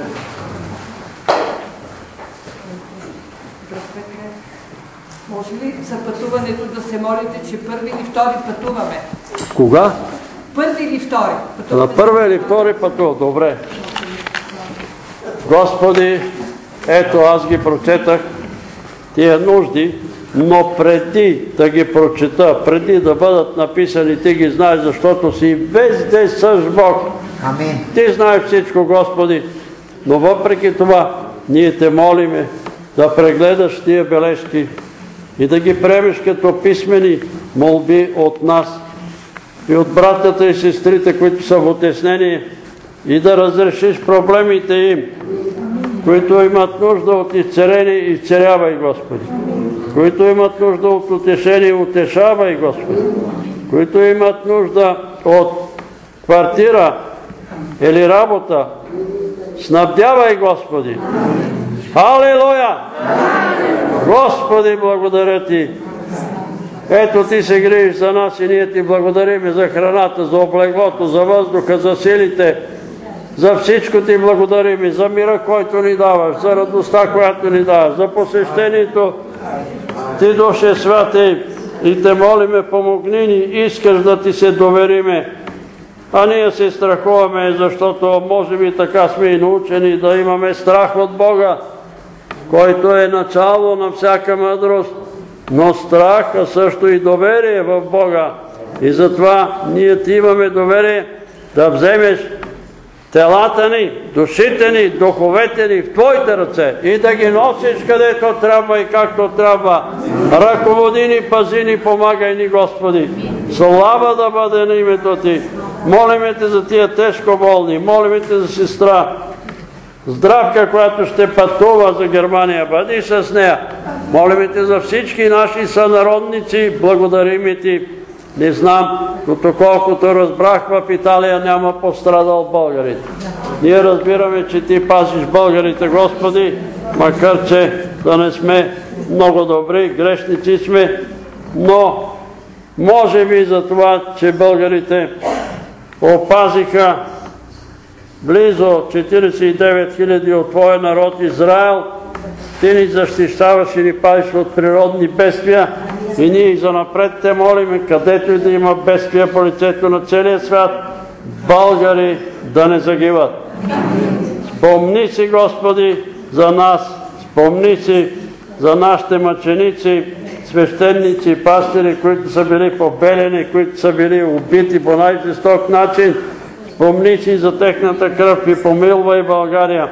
Господи, вярваме, че Ти ще благослови страната ни с един мъдър и премъдър президент, който в сърцето си да носи Тебе, Исусе. И чрез Тебе да дойдат чрез Него благословения върху България. Слава да бъде името Ти.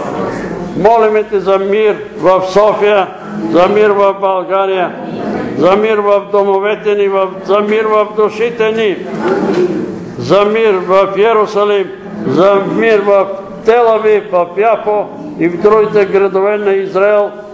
Молиме Те за мир в Турция, в Анкара, в Истанбул, пази Турция от терористи. Молиме Те да дойде мир и във Франция и този народ да се отвърне от безбожието и богохулството, за да не страда. Молиме Те за мир в Македония, в Гърция, в Сърбия, в Украина. Господи, не допускай да се избиват руснаци, украинци, братя. Господи, смили се за всички нас. И сега те молиме, души святи, мини от глава на глава и от сърце на сърце и очисти ни от всяка неискреност и лъжа. Помогни ни, Господи, да вървим след Теб, носиме Твоето Слово и Твоята истина. Молиме Те сега, Душе Святи, със силата на изцерението, посети всеки един от нас и царява и премахва всяка болка и всяко страдание. Изцерявай, премахвай болки в главата. Изцерявай, Господи, очи. Изцерявай и възстановявай зрението на уния, които имат намалено зрение. Изцерявай уши.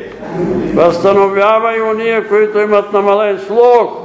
Господи, мощен и силен си Ти, изцери двама слепци, Вартимей и други, и другия, който беше от, рождение слепо роден. Затова те молим и сега за уния, които имат проблеми с очите, между които и брат Панчо, и цари очите му, Господи, възстанови зрение. Брат Иван, и цари очите му, сестра Здравка, и цари очите й. Господи, помилвай ни, слава Тебе. Брат Христо, възстанови зрението. Слава да бъде. Алелуя! Слава Тебе, Господи. Молиме Ти, царявай бели, черни дробове, панкреаси, жлъчки, стомаси, гастрити, колити, язви, царявай, премахвай, Господи, царявай генитали, и царявай, Господи, кости, стави. Молиме Те за Антуанета, за съвършено и царение на духа, душата и тялото й. Съвършено и царение на страст здравка. Мило за Кристина, Господи. Погледни от небето в дома на Стра Розалия. Погледни, Господи, влез в този дом и заплади на този нечестивец, който измъчва Христина, да напусне този дом. В раните на Исус да бъде и царена Христина за слава на Бога. Алилуя, слава Тебе, Господи! Благодарим Ти, славим Ти и Те величаваме, Свята Тройце. Молим Ти за уния, които имат душевни проблеми и душевни болести. Смили се за тях. Молиме Те за Николай, Господи, възстанови го съвършенно. Ако от цигарите и наркотиците има някакво увреждане, очисти тялото му. Молиме Те, Господи, за тия, които злоупотребяват с телефоните и се чудят защо губят равновесие. Молиме Те сега за Роси Ганева, Господи, чувства си самотна и се страхува освободи от страха, помилвай я и цари от многото и проблеми и нужди. Господи, цари я, защото вярващия човек никога и никъде не може да бъде сам, защото Господ е с него, при него и в него. Душе, святи и слава да бъде името ти, ако има и други самотни, които се чувстват самотни. Посети ги, изпълни ги души святи със силата си и присъствието си да разберат, че не са сами. Слава да бъде името Ти. Господи, между нас и това, момиче Сандра, ние Те молим за пълно божествено и царение на духа, душата и тялото й. Молим Те, Господи, за Петър, който е претърпял много тежка химиотерапия, да спрат тия химиотерапия и този човек да бъде възстановен. Молим Те, Господи, за Иво на сестра Цецка, освободи го от цигарите и от алкохола и цари Антуанет, Господи, цари ръката му. Молим Те за брат Пантелей, за неговото семейство, за Теменушка и Христо да живеят в мир и радост. Господи, слава Тебе, благодарим Ти, молим Ти за брат Пепи и цари го от тази коварна болест, мултиплена склероза. Ти си мощен и силен да го изцериш и да го благословиш. Господи, Смили се за сестра Богина и нейния дом. Молим ти за брат Георги и нейния дом. Молим ти за съвършено и царение на Любомила. Мир и радост в Любомила. Молим те за дома на брат Пламен, за дъщерите му и зетовете му и внуците му. Благослови ги. Молим те за брат Димитър и неговия дом и неговите деца. Благослови ги, помилвай ги, сили и здраве им давай. Господи, молим те за брат Христо и неговите проблеми. Молим те, Господи, за брат Тодор. Изцери черния дроб. Сине Давидов, смили се за верка. Господи, цари краката и не допускай да отрежат краката. Господи, възстанови я слава Тебе и цари от този зъл дух на диабет. Помилвай дома на брат Иван. Милост, Господи, за брат Кирчо и за неговия дом и за неговия син. Освободи го от хазарта, Господи. Молим Ти за ангел. Освободи го от хазарта. Господи, развържи ги от тия зли духове, които ги влачат към бингото. Молим Ти за Димитър, Господи, който е вързан от такъв дух, нечестив. Развържи го, Господи, да не погине душата му. Пак те молим за нашите сънародници, пръснати по целия свят, отишли са да си изкарват прехраната. Нека там да те намерят Теб, Господи. Ония, които са невярващи, да се разколебаят и да повярват. Ония, които са вярващи, да се насърчат и да се утвърдат във вярата. Слава да бъде името Ти. Халилуя, слава Тебе, Господи. Благослови страната ни и народа ни. Помилвай ни, пази ни свещениците, благослови пастири, дякони и служители в църквата, клесари, хористи, диригенти, благослови тех и домовете им. Всеки, който слави името Ти да бъде благословен. Молим Ти за църквите, Господи, в Елимпелин, на гара Елимпелин, Горно Оряховица, в Плевен, в Троян, Господи, в Ловец църквата, благослови братята и сестрите от цялата ни страна, в Русе църквите благослови, в Пловдив, Стара Загора, Господи, благослови ги, слава да бъде на името Ти, молим Те и за Пещера църквата, благослови ги братята и сестрите, Господи, помилвай страната ни и народа ни, молим Те за всеки Твой син и дъщеря, ето това, което Ти си обещал. Държа ви в ръката си и никой не може да ми грабне от ръката ви. Ето аз съм с вас до свършека на века. Слава Тебе, че си с нас, Господи! Халилуя! Халилуя! Благодарим Ти, че си с нас, Господи! До края на света Ти си с нас, пазиш ни, помагаш ни, изобличаваш ни, наставляваш ни, Благодарим Ти, славим Ти и Те величаваме. И сега молим Ти за всички Твои люди, Господи, които са тук и които ги няма, които са по домовете и по чужбина. Простирай ръцете си и царявай и благославяй. Молим Те, Господи, за тия двама мъже в Съединените щати. Благослови ги, Петър, Господи, и неговия приятел Драган. Благослови Господи Петър е наранен от съпругата му, тя го е напуснала. Ти го отеши, Господи, го помилвай. Молим те за Драган, който има заболяване от рак. Стопи раковите образования, ти си Бог отблизо и Бог отдалече. Простри мощната си ръка, докосни го и цари Драган да свидетелства за Твоята сила. Слава да бъде името Ти! Благодарим Ти за братята и сестрите в Лион. Ето, некои са се обадили, Костю, Валя и другите. Данчето ни поздравяват и ние те молиме да ги благословиш, да ги укрепиш, да ги пазиш и да им помагаш. Слава Тебе, Господи! Моля Те за братята и сестрите, петте български църкви в остров Кипър. Благослови братята и сестрите там. Ръководи ги, паси ги. Господи, да бъдат единомислени, единодушни, да си помагат, а Ти ги ръководи и благославяй труда им. Слава да бъде на името. Халелуя! Халелуя! Слава Тебе, Господи! Благослови църквите си в Русия, в Украина, Беларус, там, където са в отеснени. Особено те молим и за тия наши брати и сестри в Африка, далечна Азия, където преследват християните.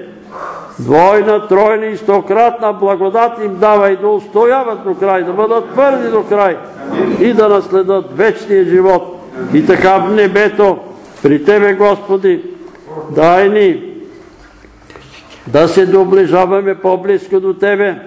Елай, живей в нас, ние да бъдем в Теб и Ти в нас, да бъдем с всички Твои люди през вечността от всички племена, народи и раси. Господи, ако това дете Юда Рай в Кипър е живо, ние те молиме да му дадеш съвършено здраве, да го направи стълб в Божия храм. И този турчин да бъде проповедник на Христовото Евангелие. Халилуя! Слава да бъде на името Ти! Господи, благословени с нас и в нас остани, души святи, благослови домовете ни, роднините ни, родовете ни, милост за нашите роднини, Господи. Привличай ги към себе си и те моля и цари Ана и Захария. Изцели Захарий, Господи, от тази коварна болест. Молиме Те, привличай нашите роднини, прибавяй ги към спасяващите се. Спасявай, Господи, и тогава взимай. Слава да бъде на името Ти. И сега всички заедно желаем да Ти се помолим с молитвата, с която Твоят син ни е научил, Отче святи и правени да се молим. И като се молиме да казваме Отче наш, който си на небесата, да се святи името Твое, да дойде царството Твое, да бъде волята Твоя, както на небето, така и на земята. Хлябът наш насъщни, дай го нам днес и прости ни дълговете наши, както и ние прощаваме на нашите длъжници. И ни въведи в изкушение, но избави нас от лукавия, защото е Твое царството и силата и славата во веки веков. Амин. Вярвам в един Бог Отец, Вседържител, Творец на небето и земята, на всичко видимо и невидимо, и в един Господ Исус Христос, Сина Божия, единородния, който е роден от Отца, преди всички векове, светлина от светлина, Бог истинен от Бог истинен, роден, несътворен, единосъщен с Отца, и чрез когото всичко е станало, който заради нас човеците и заради нашето спасение слезе от небесата и се въплати от Духа Святого и Дева Мария и стана човек. И бе разпнат за нас. При Понтия Пилата и страда и бе погребан и възкръсна в третия ден според Писанията и се възнесе на небесата и седи от дясно на Отца. И пак ще дойде със слава да съди живи и мъртви и царството му ще има край. И в Духа Святаго, Господа, животворящия, който от Отца изхожда, комуто се поклани и го слави наравно с Отца и Сина, и който е говорил чрез пророците една свята, вселенска и апостолска църква, изповядваме едно кръщение за опроставане на греховете. Чакам възкресението на мъртвите и живот в бъдещия век. Амин. За дрехите ви се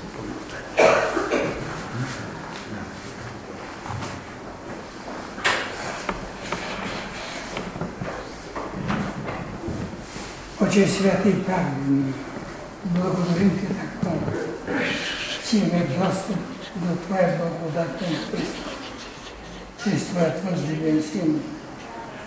Ти се молим се, Отче Благодатен, да изпратиш Твоето Слово върху тези люди. Тези тела представят техните, тела. Те са обредени. Ние не знаем причините но пред Тебе е всичко. Но ние знаем от Твоето Слово, че няма праведен човек, който да е живял на земята да не се грешава. Но ние знаем от Твоето Слово, че Господ Исус Христос понесе на Голготският кръст не само греховете ни, но и нашите болести, и нашите немощи. И ти казваш Словото неговите рани, ние си изцелих. И тези люди са изстрени в раните на Господ Исус Христос. И ти се молим от Чудмак, чрез Святия Дух да действа в сърцата ни и да възвръща тази вяра, че те са изстрени в раните на Господ Исус Христос. И ти се молим от Чудмак, да изпратиш Твоето Слово върху тях те да бъдат съвършено изцелени. Ти казваш чрез псалмопевеца, изпраща Словото си и то ви изцеля. Това Слово, с което си създал световете. Това Слово, с което създаде и наши човеци. Твоето Слово е мощно и действа. Затова ти се молим, да изпратиш Словото върху тези люди те да бъдат съвършено изстрани. Духови лукави и болести, които причиняват тези страдания. Заповядваме в името на Господ Исус Христос, в името на самовъща от Отец и силата на Святия Дух, напускате телата. Амин. Напускате души. Амин. Напускате духовете. Напускате техните домове и ви слагаме под кръвта на Господ Исус Христос. Вие нямате нито дял, нито учет. Бъм заповед. Отивате там, Бог определил място за вас.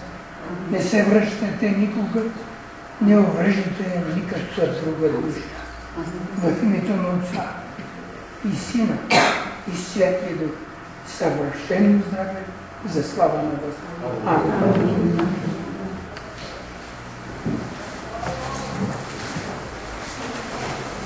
Ако има видения, откровения, заповядайте.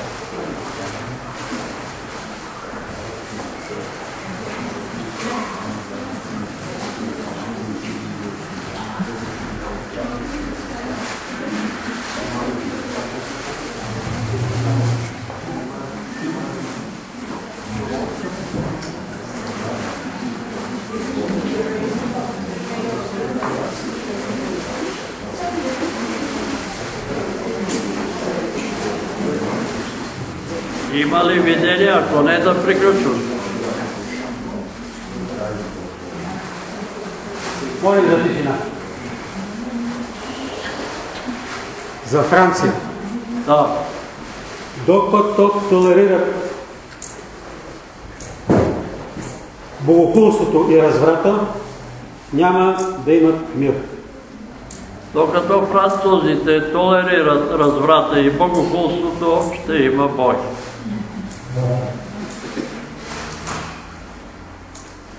Сестра Антуанета. Да. Мисля, че от мен време. Да донесе патерите в църквата. Е, тук да сложиш.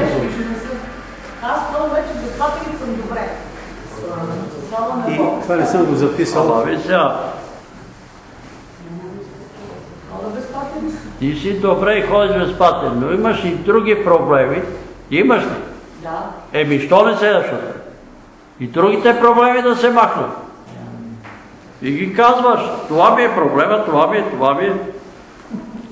Аз те разбирам, ти си радостта, че парли патериците, ама и другите неща да, да се оправят.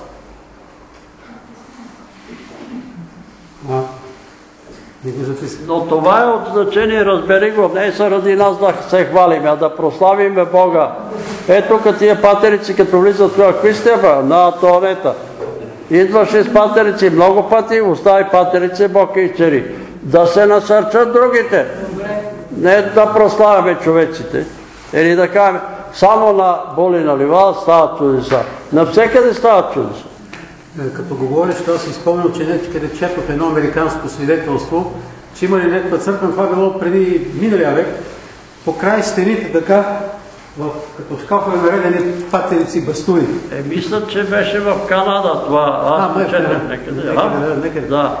И там наредени патериците на еди кой си, бастуна на еди кой си, патериците, количката на еди кой си.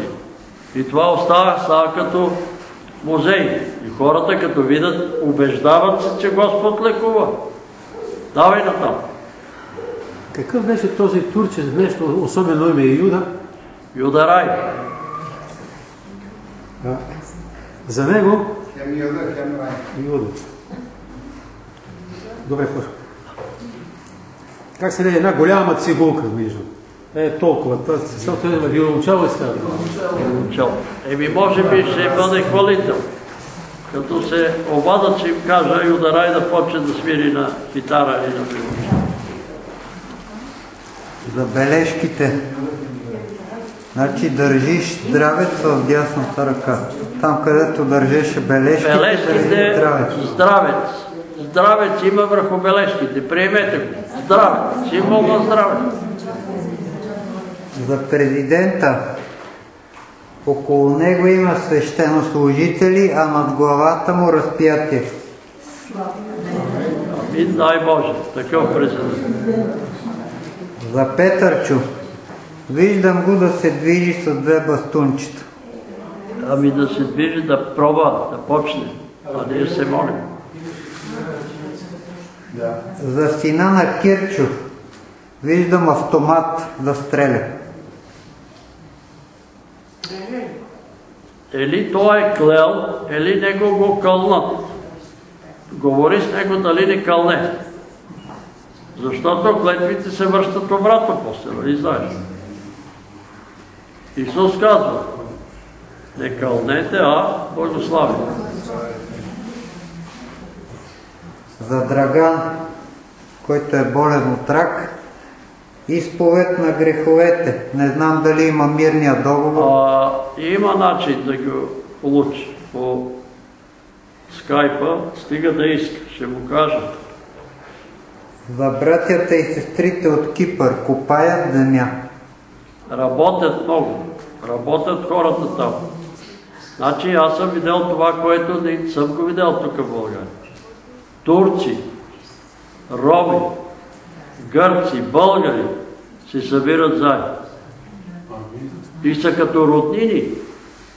Не само на църква, а вечерно време се събират и тая сестра направила баница, она направила кекс, оня носи кафе, другия това, събират се и си говорят, айде пак на молитва, айде разговори върху това, айде върху Словото. Сега не знам дали е така, но така беше преди две години. И аз това го видях. Нали? И като се молим, има резултат.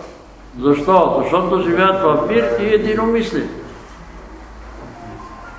За Турция ще има просветление в Турция. Амин, то всичко става, Господ го допуска за това, да може. Нали знаете, в Турция има евангелски църкви, в Измир, в Анкара, в Истанбул, в Одрин има евангелски църкви. Не са турците такива, които си мислили там от... Нали, днеска е празник по случай епопеята на Шипка. Колко беха? 7 хиляди срещу 40 хилядна армия. Господ даде на нашите попълченци смелост и дързост да това реши и пътя резултата и изхода от войната. Но това не значи дайте да мразим и турците. И се навивайте на никаква омраза, разберете. Нема турци, сърби, македонци, нема. Човеци, човеци, араби, човеци. Така, за, и за дрехите брат Димитър полива, дрехи, а, полива растения с лейка. Полива ги с живата вода. Нали? Добре. Брат Димитър, заповядай. Ако... Има ли друг? Ела, ела, чакай малко. Има. Само за дрехите, за дрехите да хвърля някакво като друго на оръдие, което постепенно изчезна и за някакъв тип бял, нали, изчезна.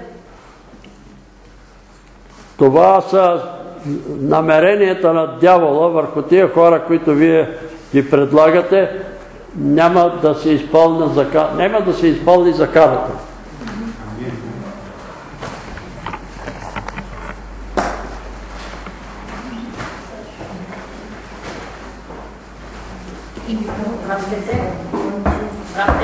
Има ли вода? Това е за теб.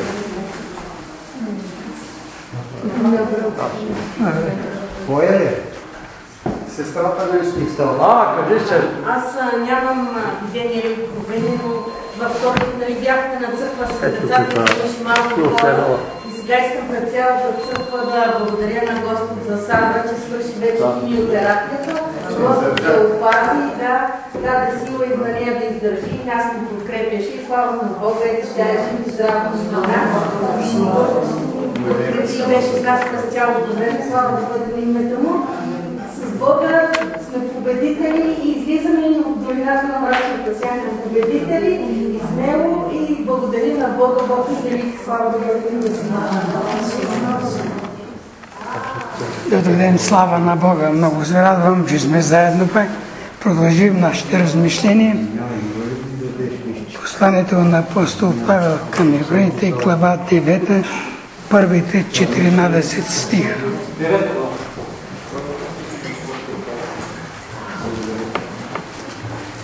А даже при първият съвет имаше постановление за богослужение, имаше земно светилище, защото бе приготвена скиния, в първата част на която бяха светилникът, трапезата и присъствените хлябове, която част се казва святото място, която част, която беше завесата и она част от скинята, която се казваше Пресвятото място, където бяха златната кадилница, ковчегът на завета, от всякъде обкован с злато, в който бяха златната стомна, съдържаща манната, Ароновия джезъл, който процъфтя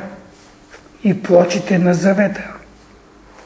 И над него бяха херовимите на Божието присъствие, които осеняваха умностивилището, за които не е сега време да говорим подробно. И когато така тези неща бяха приготвени, в първата част на скинията свещениците влизаха постоянно да извършват богослужението, а във втората, еднъж за годината, влизаше само първосвещеникът и то не без кръв, която принасяше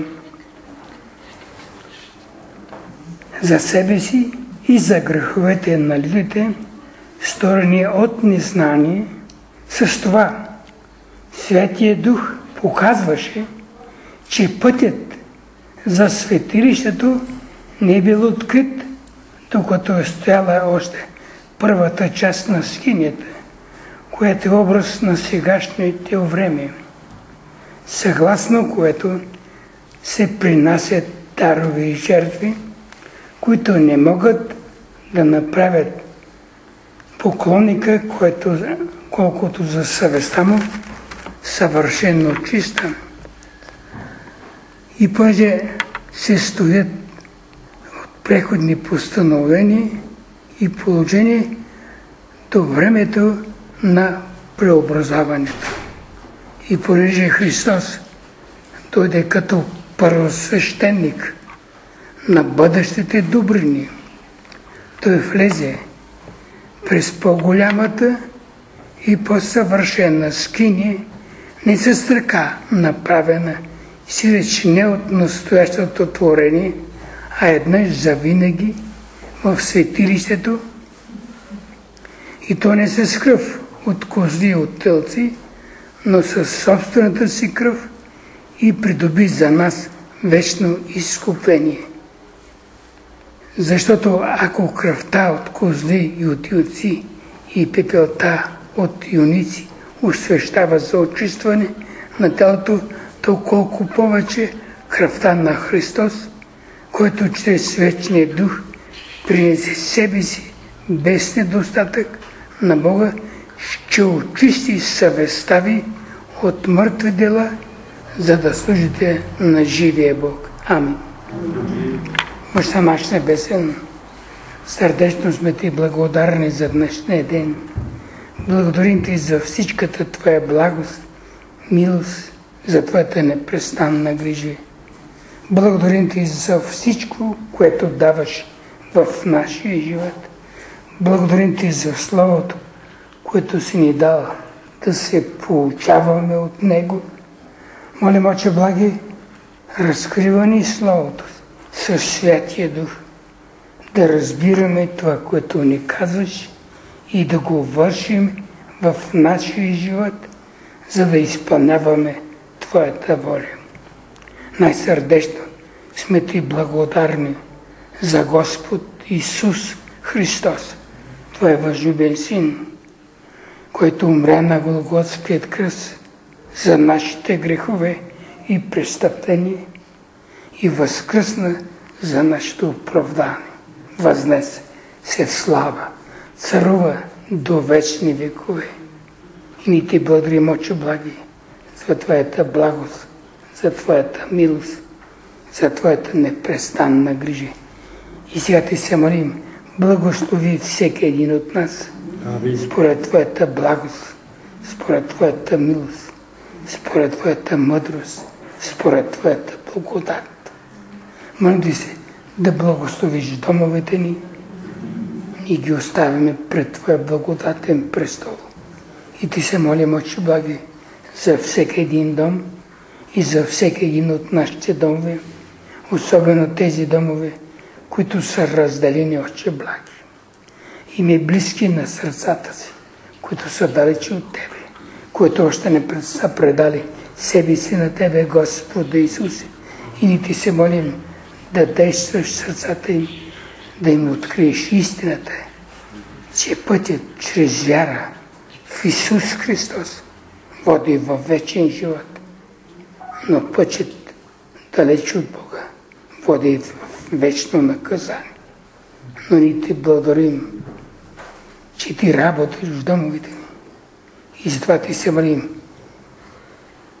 Благослови всеки един дом, ръководи ни, наставява ни и онова, което вършим, да бъде за прослава на Твоето ми.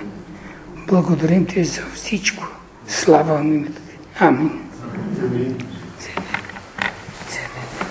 14 стих прочета, нали? Да. Благодаря. Апостол Павел дава обяснение за същността на служението в Стария Завет. И онова, което вършеше първосвещеник. И съпоставя двете служения. Служението в Стария Завет на първосвещеника и служението на Исус Христос, нашия Господ, като първосвещеник.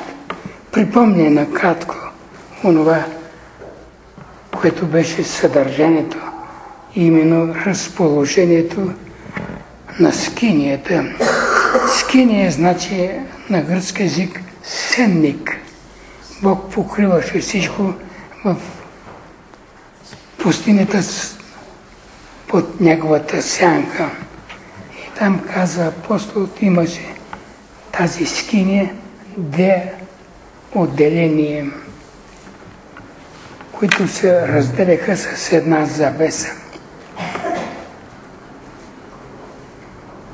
Две отделения в самата скини и другото отделение, третото, беше дворът на скинята. В дворът беше народът. Вътре в скинята, първата част, влизаше, биха само свещениците можеха да влизат, а в втората част, светая светих или през святото място, което представляваш съвършен куп, ширина, дължина, височина еднаква. Това беше през святото място, там влизаше само първосвещеникът, никой друг, и то един път в годината.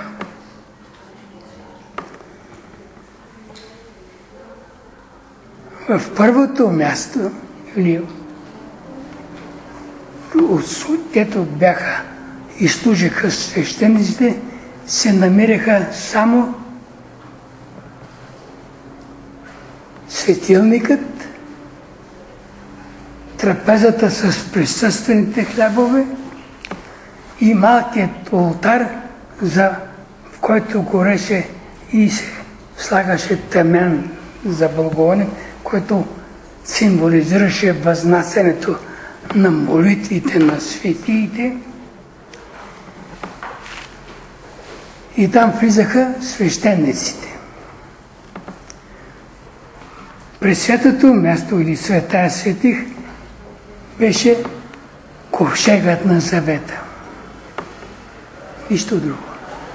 Този, този ковшег бяха двете плочи каменните с заповедите. Вътре обаче Бог заповеда да се сложи една златна стомна, пълна с манна, да свидетелства на израелите как Господ ги хранеше в продължение на 40 години. Освен това, имаше Ароновият жезъл, който свидетелстваше, че Бог е този, който избира свещениците, не тези, които те желаят. И затова Бог направи да принесат всяко едно племе по един жезъл, също и Ерон да принесе жезъл. И през нощта тези жезли пренощуваха в скинята. И сутринта този жезъл на Арон беше покарал, цъпнал и завързал този жезъл. Дървото беше бадемово дърво или мендалово, казано в, на еврейски. И това беше свидетелството, че Арон не сам става свещеник, не че Моше го препоръчва, а че Бог го избра и той го постави за свещеник. И отгоре целият този ковшек беше покрит с умилостивилището. Умилостивилището беше изработено цяло от злато и имаше два херовима, които бяха разпрострали своите крила над умилостивището. И искам да запомните това. Умилостивището е съществено в този съвършен куп света е светих. Там Бог казва, ще говоря с тебе. Бог говореше именно там. Това умилостивилище беше същността за изкуплението на грешникът и за изкуплението на целия Израел и на целия свят. Там се предасеш кръвта за греховете на народа. Там беше и златната кадилница, която се употребяваше само веднъж в годината, в тази кадилница първосвещеникът слагаше две сепи темен върху горещата жарава и целият света светих се изпълваше с димът в момента, когато Бог извършваше умилостивението. Как ставаше, никой не виждаше. И сега апостол каза, е това беше образът на небето. И от тук можем да заключим, че небето имаше е този храм, който не беше направен от човешки ръка. Така обяснява апостол. Храм, който беше образ, по който се създаде на земята храма, но той съществува там. И съществува, и сега съществува. И ще бъде премахна, знаете ли кога? Когато стане обновяването на всичко. И тогава апостол казва, че в новият Ерасолим, в новето небе, храм не видя. Няма. Защото храм вече е Господ Исус Христос. И, те, и всички светии. Но до тогава, именно в това небесно светилище, влиза Христос. Той е там първосвещеникът. И това казва апостол. Това е разликата вече. В настоящото време, което е образ чрез тази скиния, първата част, влизаха свещениците. Но Христос не влиза в това ръкотворно светилище. Той влиза в небесата. Той влиза в небесното светилище. И знаете ли кога стана влизането? След Възкресението. Може да си спомните тези думи, които Христос каза на Мария Магдалина. Не се докосвай до мене. Още не съм възлязал. Значи в момент, когато става Възкресението, Мария е там. И Христос се успокоява да не се бои да отиде да възвести, че Той отива при нашия Бог и при, те, и при, него, при нашия Отец и при Неговия Отец. Той отива в светилището. И там принася тази собствена кръв. И това каза апостол тук. Принесе собствената си кръв за нашето изкупление вече на небесата. И тук става разликата. Свещеникът вършеше тук на земята, но Христос, нашият първосвещеник, извърши това на небесата.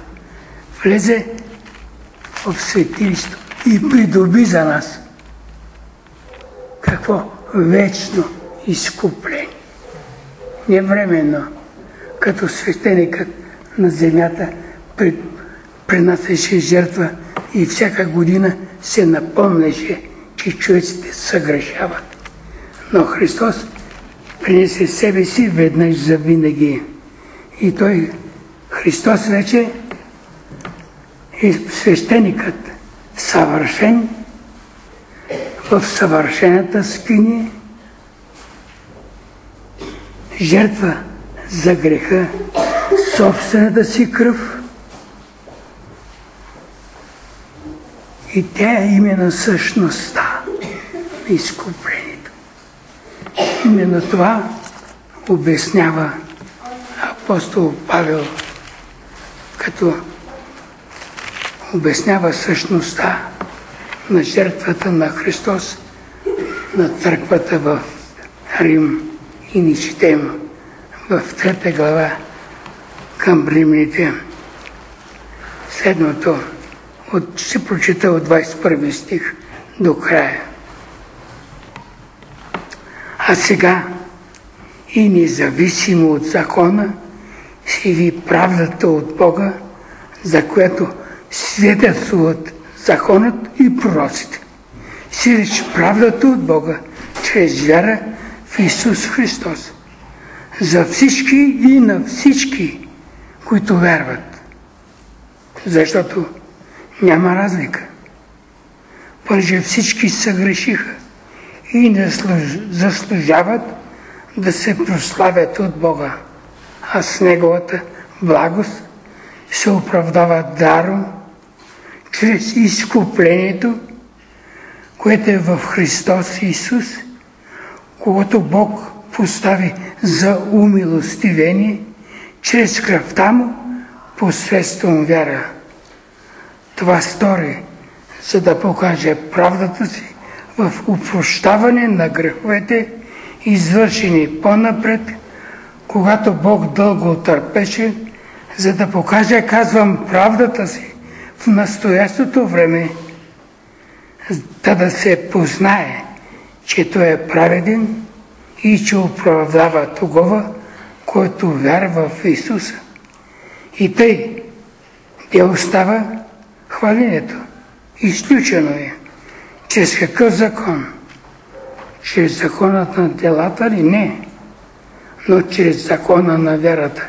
И така, ние заявяваме, че човек се оправдава чрез вяра без злата на закона или Бог е Бог само на юдеите, а не и на езичиците. И на езичиците е. И понеже същият Бог ще оправдае обрезаните от вяра и необрезаните чрез вяра. Тогава чрез вяра разваляме ли законът? Не. Но утвърждаваме законът. Защото Христос е целта на законът. Да се изкупи човеците от изискването на закона. И Христос извършва това веднъж за винаги. Става на кръста. Там се принася кръвта. Има един много характерен стих в Евангелието от Йоан, 19 глава, 30 стих, когато всичко завършва на Голготският кръст. Христос излиза тържествен. Свърши се. Какво се свършва? Изкуплението е и завършено. Законът е удовлетворен. Правата е възстановена. Жертвата е принесена. Всичко е платено. Свърши. Това стана на Голгота. И затова апостол нашият първосвещеник е на небесата вече. Той влезе в това небесно свет и освети всичко. Всичко е свършено. Вратата е отворена, завесата е разкъсана, достъп до умилостивилището е открит чрез Исус Христос. Това е което Бог извърши. И казва, ни го предлага. Чрез вяра. Нищо друго. Всичко е свършено. Това е което Христос казва чрез своята прича за сватбата. Елате, всичко е готово. Това казва, елате при мен, всичко е готово, свършено е. Вратата е отворена, завеста е разказа. Достъп до престол на благодата. Бог да ни благослови. Амин. Баща наш небесен, сърдечно ти благодарим за Словото, което си ни остава и да се получаваме от Него. И ти благодарим за Твоят възлюбен Син и нашия Спасител, Господ Исус Христос, който понесе всичко, онова, което ни трябваше да носи, взе върху себе си нашите грехове, нашите престъпления и прикова всичко на Голготският кръст и понесе нашето наказание. Умря заради нас, но Той възкръсна за нашето оправдание и те благодарим от чубаки. И сега те се молим, благослови всеки един от нас. И Сега благодатта на нашия Господ Исус Христос, любовта на Бога Отца,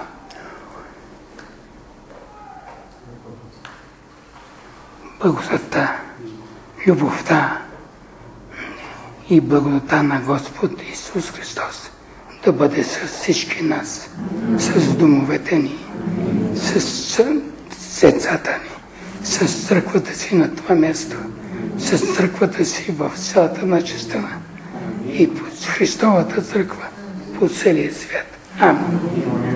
Нека помним следващата събота нашата Господня вечеря. Амин.